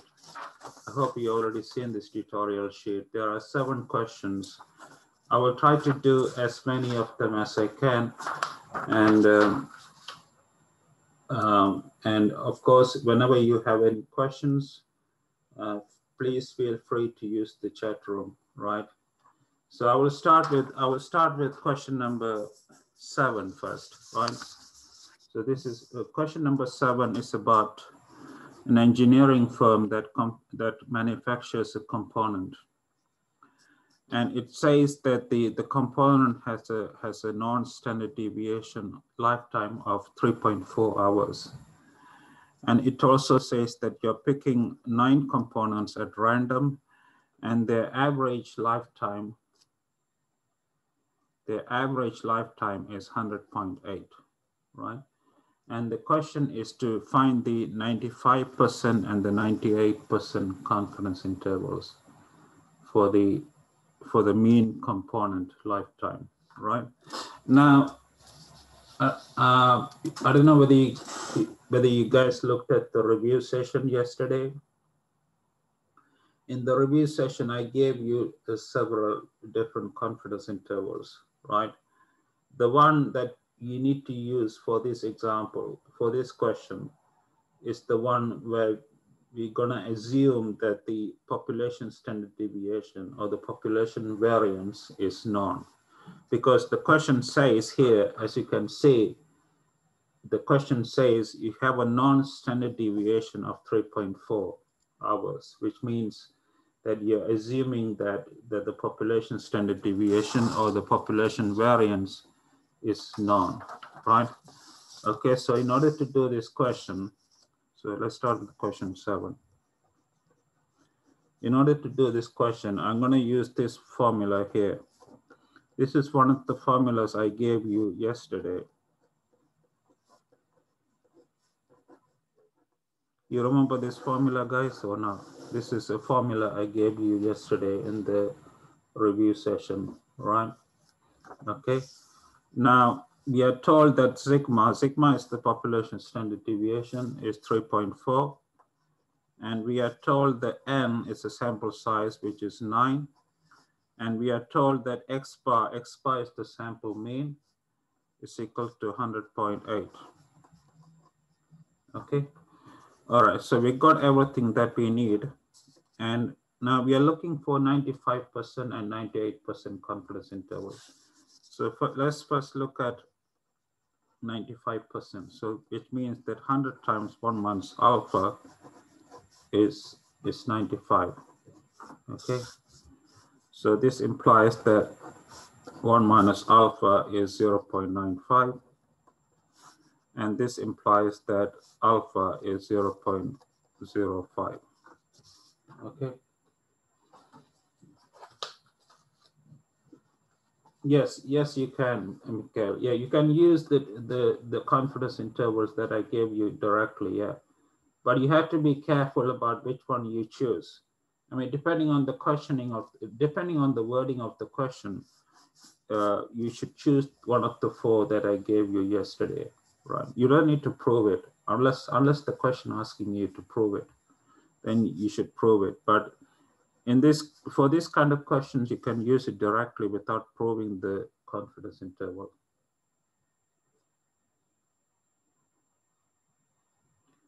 In, it depends on the exam question, Mikhail. I mean, it depends on what the question is asking you. Sometimes the question will ask you to derive it before using it. All right, so like in this question, it, the question is not asking you to derive the confidence interval, just to use it, right? So, so it's okay to use it without deriving it. But if the question is asking you to derive the confidence interval first, then you should do so, right? And then use it. Is that is that clear, Mikhail? Okay, so so this is this is the the percentile of the standard normal, which you can read from the normal table. Uh, uh, in, in the video, one of the videos yesterday, I showed you how to read the table, right? Um, so if you haven't read the, if you haven't watched the video, please, please watch again, right? Okay. All right, now using this, um, using this formula, you can get 100.8 plus or minus 1.96 times 3.4 divided by square root of 9. And if you work this out, the, the 95% confidence interval is from 98.58 to 103.02. All right, so this is the 98% confidence interval. Sorry, 95% confidence interval for the mean lifetime.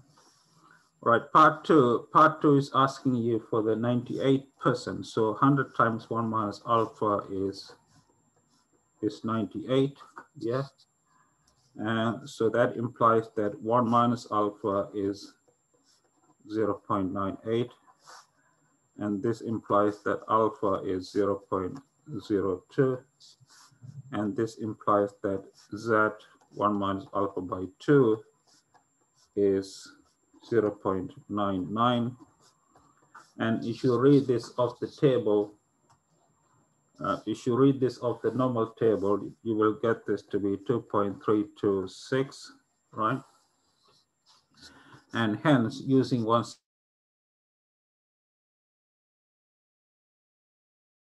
uh,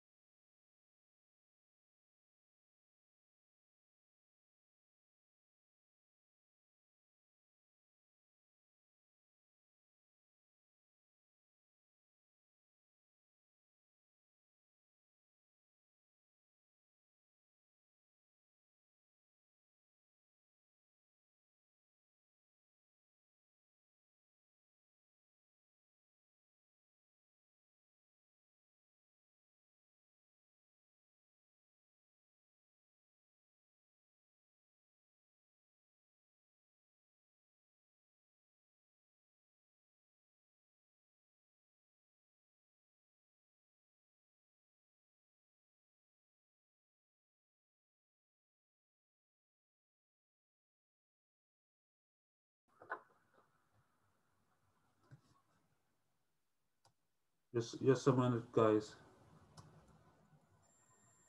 Okay, can you can you see it again? Sorry. Sorry, I, I'm I'm sorry that I'm sorry there are there have been an issue with the there was there was an issue with the camera. I don't know. Okay, sorry guys. So, all right, now back to back to question seven again. Um, now, if you use this formula one more time, you get x bar, which is 100.8 uh, plus, plus or minus um, 2.326 times 3.4 divided by the square root of 9. Now, if you simplify this, guys, you will get the 98% confidence interval to be to be this. Okay.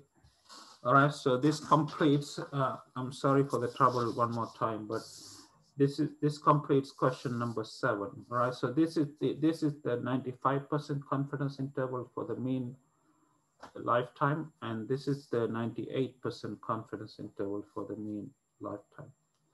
All right, any, are you guys okay with this? Any questions? Are you, are you all, are you able to follow this okay so far? Hello guys, talk to me, please. Okay, thank you, thank you, thank you.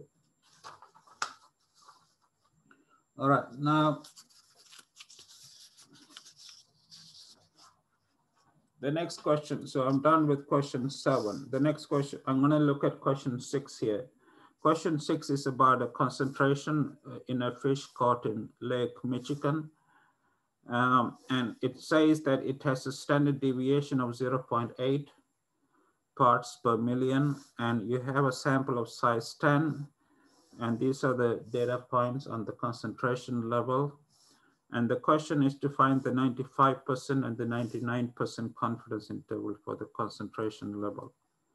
Okay, right, let's see how we can do this. Um, now, you should read the question carefully if you read the question carefully, once again, it says that the standard deviation is known to be 0.8. So the formula that you need to use is once again, the formula that you need to use is the same as the previous.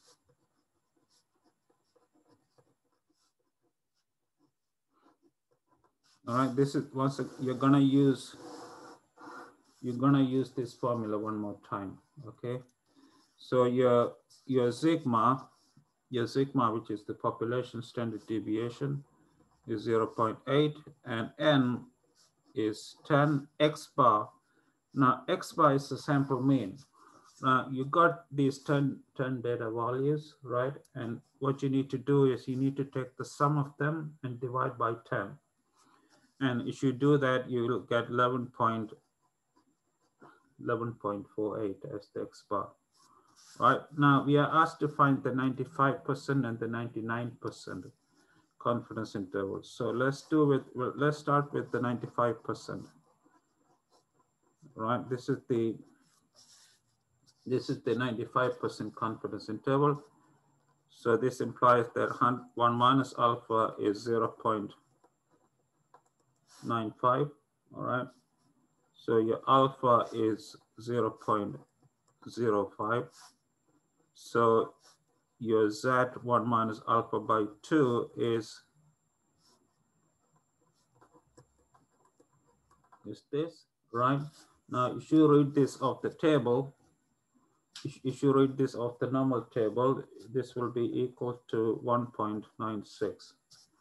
All right, now using this formula, using this formula, you will get 11.48 plus or minus 1.96 times 0.8 divided by the square root of 10. Okay. Now, if you work this out, the lower limit will be 10.99 and the upper limit will be 11.98.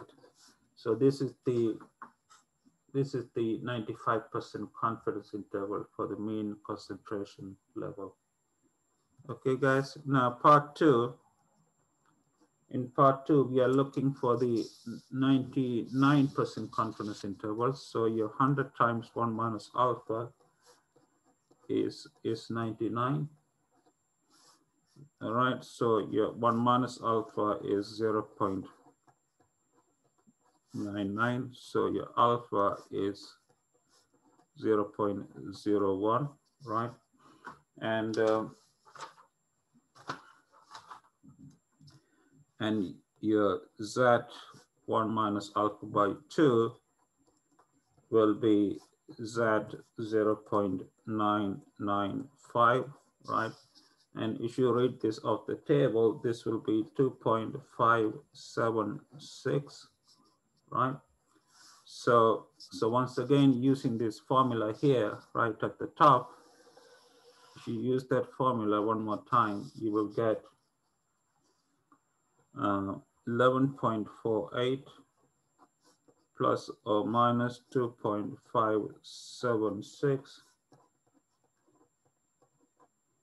uh, divided by the square root of 10. All right, so so the lower limit is 10.83 and the upper limit is 12.13. All right, so this is the, the 99th percent confidence interval for the mean concentration, okay? All right, guys, so this is question number six. Uh, are you okay with this? Anything that not clear, please feel free to talk to me using the chat room. Um, it doesn't it doesn't matter it doesn't matter whether you use the closed open interval or the uh, well it doesn't matter what kind of interval that you use. You can use you can use the the round intervals or the square brackets. It either is okay with me right? So it doesn't really matter which kind of interval you use okay? All right any other questions guys? Please let me know right? Okay thank you um, all right, so we're done with question number six now. The next question I'm going to look at is question five. Question five is on um, you have a random sample from a geometric distribution the first part is to write down the likelihood and the log likelihood. And the second part is to find the maximum likelihood estimator of P. Okay. I think I did this question earlier, but let me do it again. All right. So this is question five.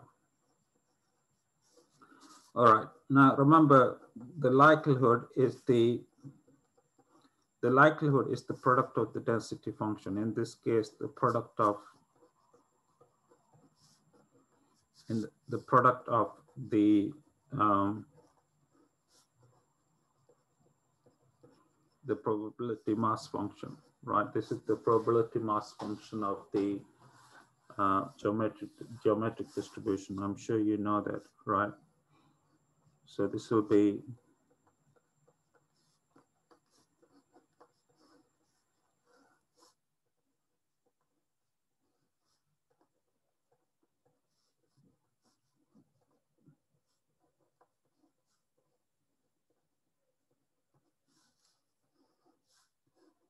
right? So this is what you get. Now the product, the product of P, I from one to N is this. And the product of this guy here is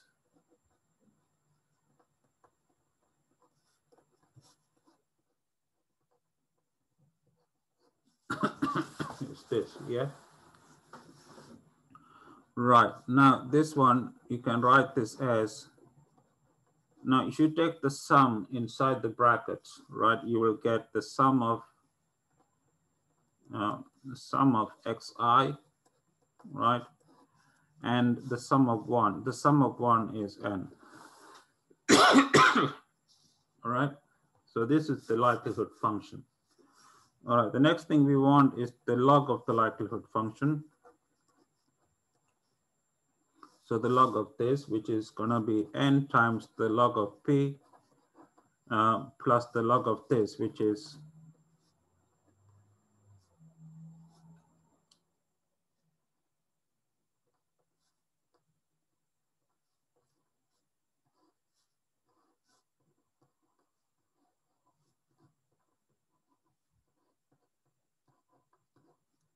right?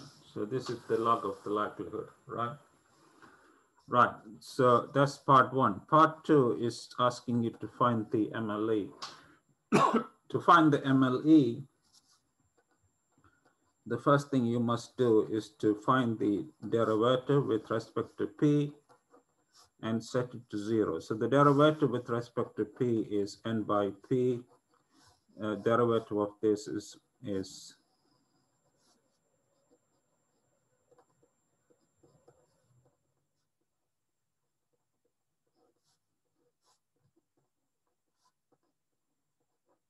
Okay, so this is the derivative. And, and you set this to zero and solve for type solve for P, right? So this becomes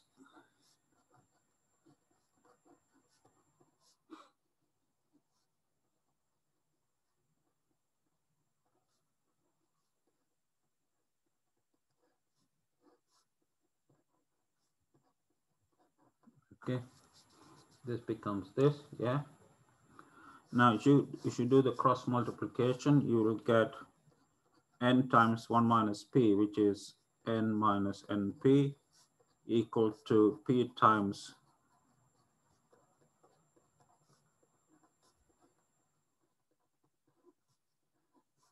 minus np, right? Now, these two guys cancel out. So, so you get the solution for p, let me call it p hat, to be equal to n divided by the sum of xi.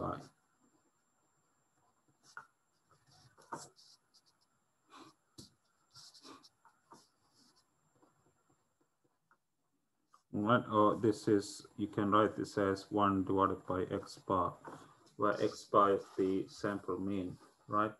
All right, now in order to show that this is a maximum likelihood estimator, we need to take the second order derivative with respect to p and show that it's negative, all right? So let me let me show you that now, all right? Okay, so So I'm gonna take the second order derivative with respect to P.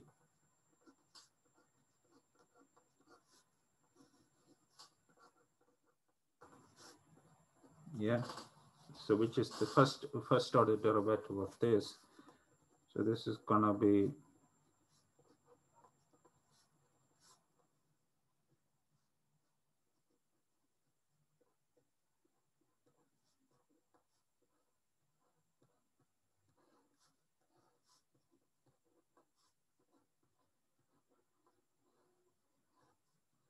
right? Now we need to show that this is negative. Now clearly the first term, the first term is negative and the second term is also negative, but we need to be careful about the sign of this. So we need to investigate what, what values this can take, right? In order to see, in order to see that, look that xi, xi by definition, it, because it's a geometric random variable, uh, it must be greater than or equal to one for every i, okay? All right, guys? And this implies that, that the sum of xi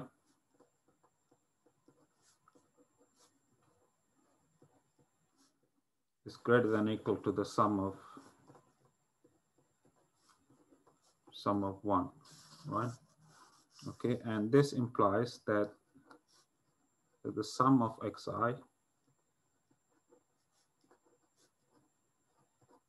is greater than equal to the sum of one is n, right? And this implies that, that the sum of xi minus n must be non-negative, right? So, so what I have shown is that this guy here is non-negative, and this is also positive, and this you have a negative sign in front here. So hence, hence I have shown that this guy is less than zero. Okay, so hence the conclusion is that the conclusion is that since the second order derivative is negative, we can say that this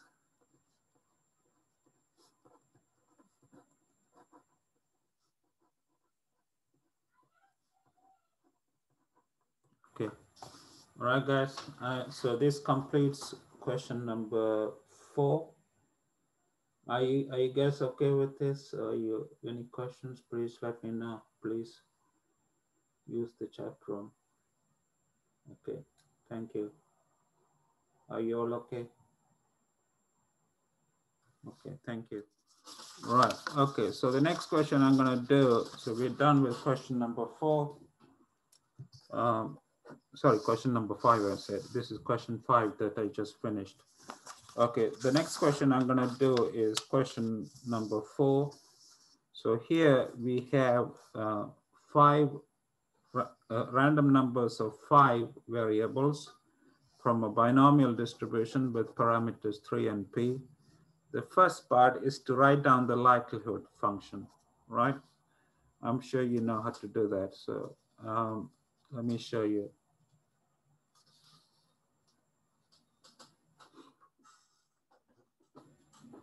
Yeah, Vince, yeah, if it is not smaller than zero, Vincent, then you cannot say that it's an MLE. If it, so it has to be, it has to be smaller than zero for, for an, for an estimator to be a maximum likelihood estimator, right? Okay, Vincent, uh, yeah. Um, all right, so let's start with question number four. Okay, so the first thing I'm going to do is to write down the, the likelihood function, right? Uh, so the likelihood is going to be the product uh, i from 1 to 5 of the density of the binomial, right? Now, that's going to be 3 choose xi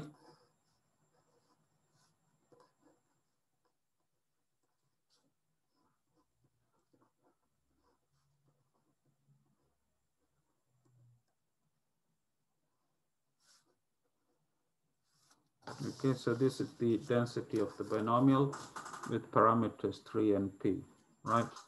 Now there are three terms. So, so basically you need to take the product for each of the three terms.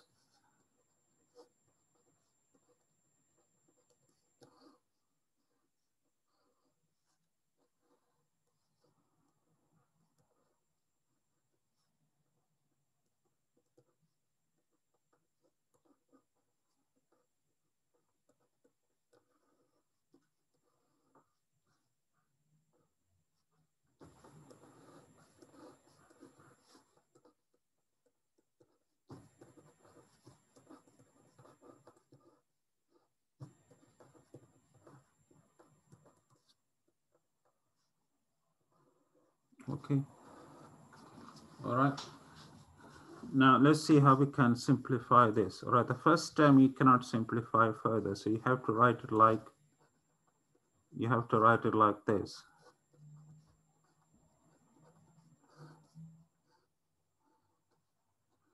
The second term, you can simplify it as P power the sum of xi. okay? And the third term you can simplify as one minus p power the sum of three minus xi, okay? So this, this becomes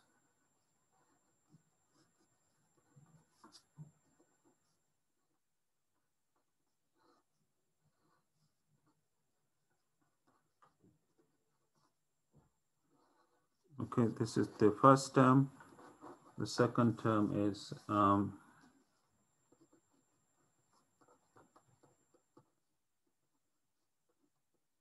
this. And the third term is, now if you take the sum inside the brackets, you get 15 minus the sum of um, sum of xi right? So this, so this is the, the simplified form of the likelihood function. Are you guys okay with this? Yeah. Let me know if you have questions, please, please feel free. Uh, please feel free to, to ask any questions you guys have, okay? Yeah. Right, now the second part, in the second part, you are actually given the values for the x's. You are told uh, you're told that x1 is equal to 1, x2 is equal to 3, uh, x3 is equal to 2, x4 is equal to 2, and x5 is equal to 3. So you, you are given these values, right? So, so the likelihood function L of P right? Uh, if you sub these values into this, right, you will get um, the following. You will get three choose one, uh, three choose three, uh, three choose two, three choose two, three choose three. Now, P, the sum of xi is just the sum of these numbers. So it's one plus three plus two plus two plus three which is uh, 11, 1 minus p power 15 minus 11. All right. Okay, guys. So this, uh, you should have a calculator. You can simplify this to 27 p power 11, 1 minus p power 4. So this is the likelihood function for, for these data values here, right? Right. Now, you're also told in part two of question four that, that the values that P can take are, are one of the following.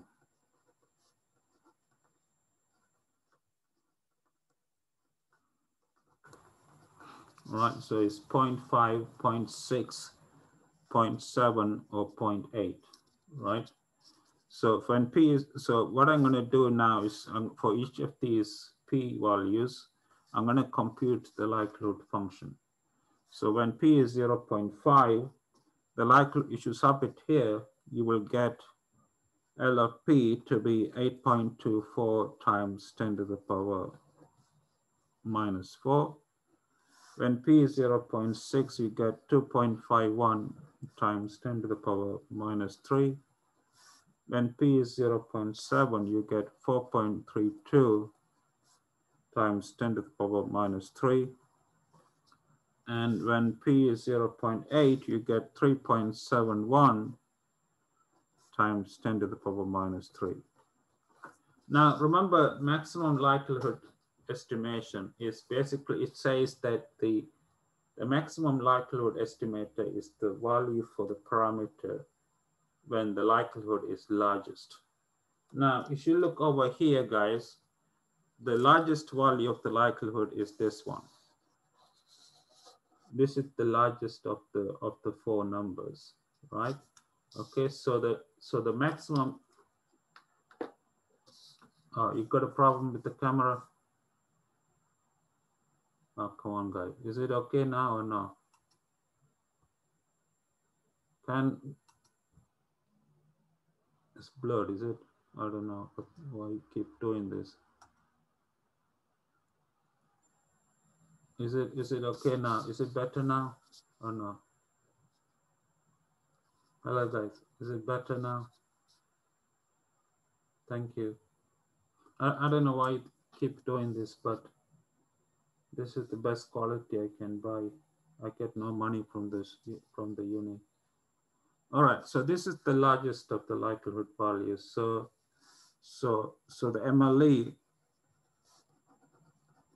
so the MLE of P is 0, 0.7. Okay, because it, that 0.7 corresponds to the largest likelihood value. All right, guys, so this completes question number four of the tutorial sheet. Uh, are you guys okay with this? Any Anything that you want to ask me on this question before I go to the next one? Okay, um, please let me know. I mean, if, if the if the if you can't see the camera well, please let me know. Once again, I will try to fix. I, I don't know. I mean, if if if the camera is still giving you problems, please let me know, guys. Okay. Uh, but as I said, this is the best quality I can get. Uh, okay, so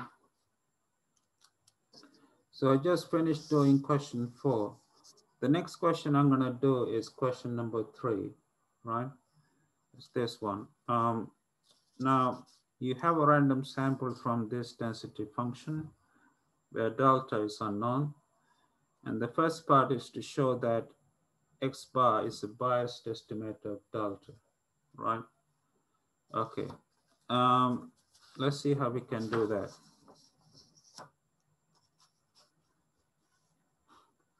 This is question number three. So please let me know if, if the camera is still not working, please let me know.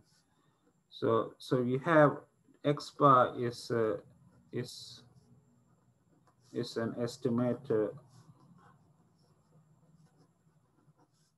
of delta, okay? Now we need to show that this is biased. Remember, an, a biased estimator is, is an estimator where, where the bias is not equal to zero, right? So basically we need to show that the bias of this estimator is different from zero, all right? Now remember the bias is defined as the expectation of X bar minus the parameter that you're trying to estimate, which is delta here. So this is the expectation of one over N times the sum of Xi minus delta, right? Now, if you take the expectation inside, you get 1 over n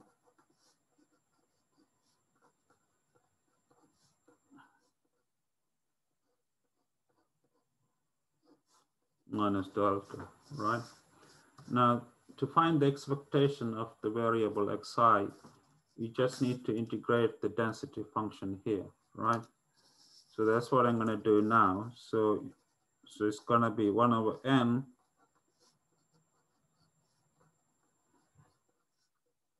times the integral from delta to infinity of x e minus x plus delta dx minus delta. All right, now this is a constant, so you can pull it outside. So this becomes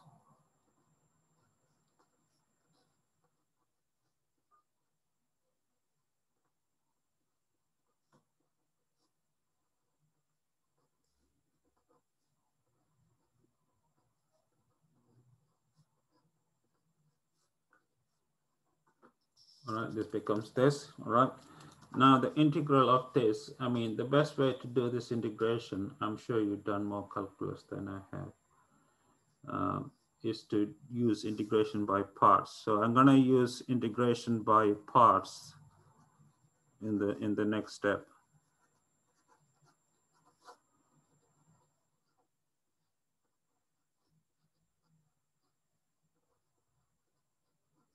All right, so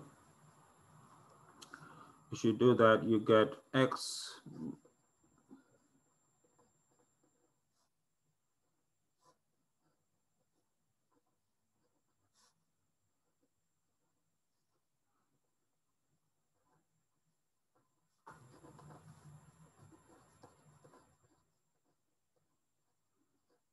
See, I'm I just done. So this is basically integration by parts, right? So this becomes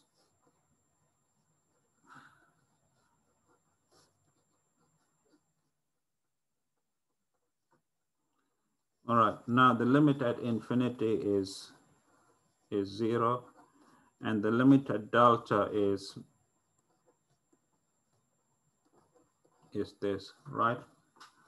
Now the integral of this guy is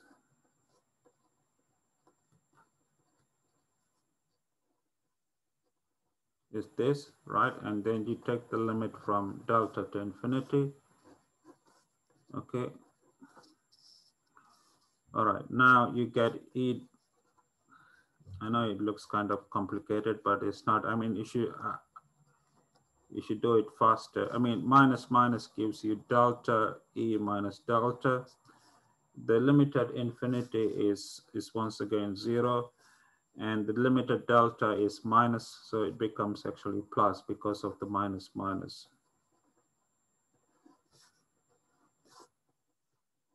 Okay, right now I'm gonna multiply, there's this term here outside. So I'm gonna bring this inside, inside the brackets and multiply across. So this will become one over n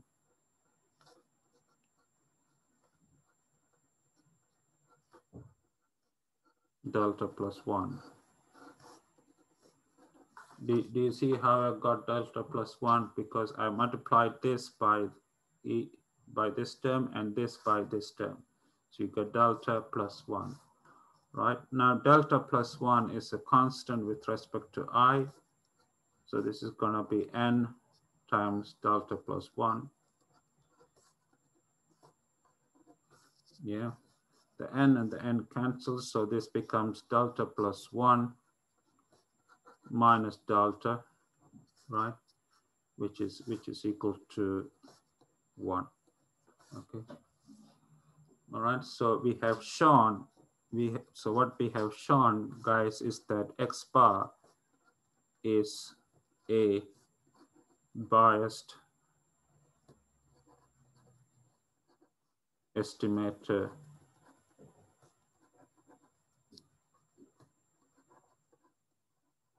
of delta, right?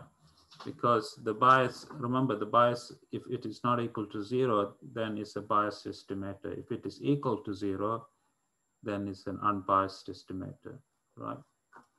All right, guys, are you okay with this so far? Guys, please. Hello, guys, talk to me. Are you, are you okay with this so far with the part one? This is part one of question three, okay? Now, to do part two, yeah, so part two is asking you to, to give the expression for bias, which we have already worked out to be one, right? And it's also asking you what happens to the bias. It's asking you what happens to the bias as n goes to infinity. Because one is a constant, right? The limit is also the same, right? So the limit of the bias is equal to one, right? So that's part two of question three. Part three, part three is asking you to find an unbiased estimator for delta. Now, if you look back at part one, what we have shown here is that the bias of x bar is equal to one. So to make this into a zero, what you need to do is to take away one on, on each side. So if you take away one here, and take away one here, you will get zero. All right, so, so what I'm gonna do is the following. So I'm gonna define, I'm gonna define a new estimator.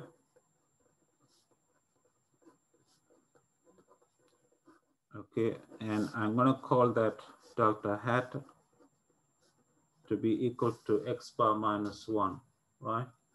And then the bias of this new estimator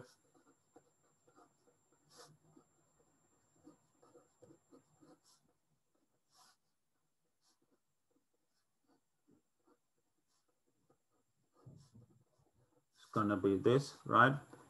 And this is gonna be the expectation of x bar minus one minus delta. Now from the first part, which I just showed you, right? From the first part, the expectation of x bar is delta plus one. So this is zero, right? So hence we have shown, so what we have shown is that delta hat is an unbiased estimator.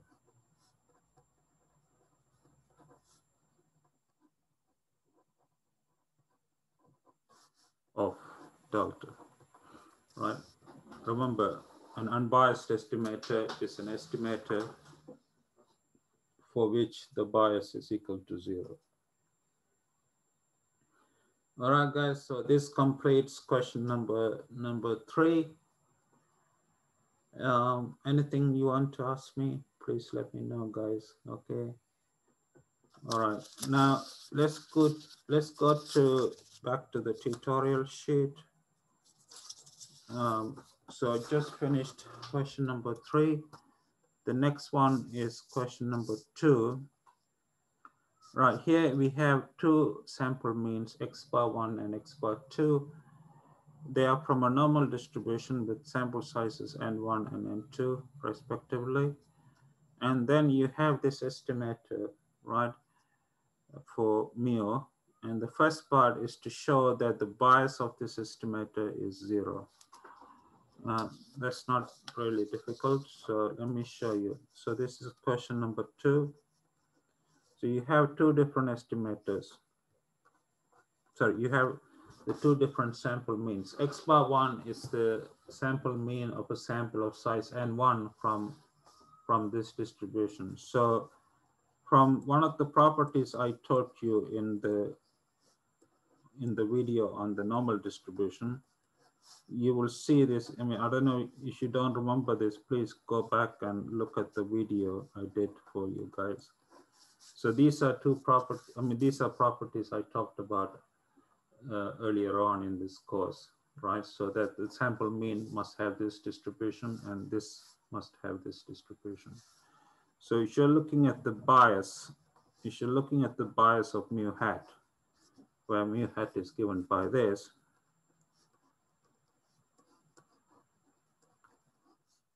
Mm -hmm. um,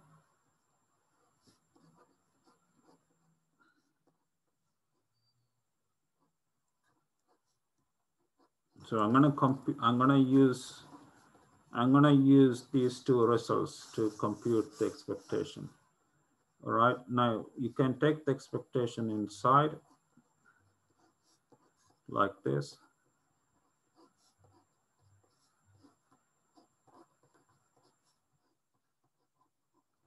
Now the expectation of, of this is, we know that x bar one has this distribution So the expectation,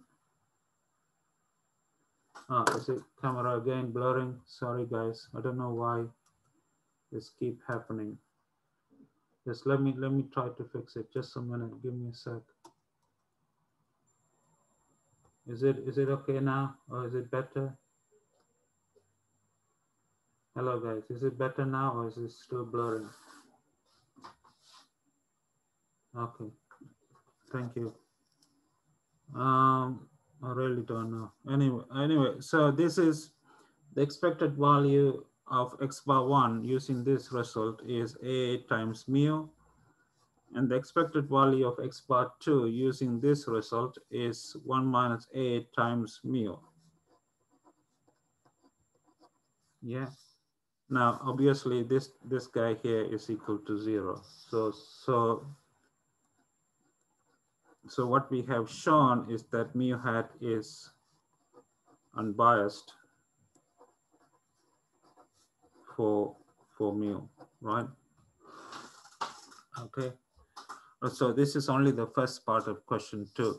Now to do the second part of question two, uh, is asking you to find the variance of the estimator and show that is minimized when a is equal to n1 divided by n1 plus n2 right so that's not that's really not difficult because watching once again once again to to find the variance of the estimator you need to use these two properties right all right that the x bar one has this distribution and x bar two has this distribution right and then try to try to minimize using standard calculus right?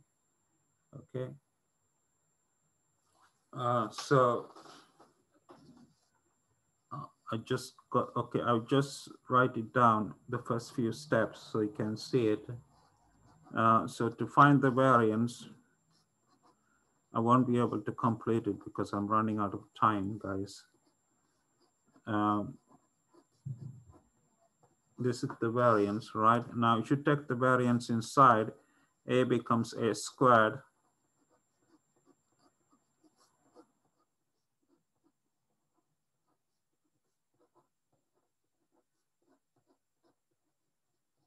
yeah um, and this is a squared times the variance of x bar 1 using this property here is sigma squared divided by n1 and similarly the variance of x bar 2 is sigma squared divided by n2. Okay. All right, now you can write this as a squared divided by n1 plus 1 minus a squared divided by n2 uh, times sigma squared outside. All right, now what you need to do, I have run out of time already. What you need to do is to try to minimize this as a function of A. So to do that, you just simply differentiate this with respect to A, set it to zero, and then show that the solution is, uh, is N1 divided by N1 plus N2, and it corresponds to a minimum, right? Um, that I don't have the time to do that, but you will, I will post the full solutions to all eight questions uh, day after tomorrow on Thursday. So you, you'll be able to see the full solutions uh, in typed form, in handwritten form, and also in, in a video form, right? So uh, I will do that Thursday afternoon, all right? In the meantime, if you have any questions about the course, as usual, please feel free to contact me 24 seven, all right, by email, Skype, Zoom, or phone. Right, my home phone home my home phone number is 0161 273 2941. All right, guys. Have a good afternoon, a good morning, a good evening, wherever you are, and please take care of yourself. So please, any questions you have about the course, please feel free to contact me 24 seven. I mean, I'm here to help you guys as always. Okay. Take care, guys.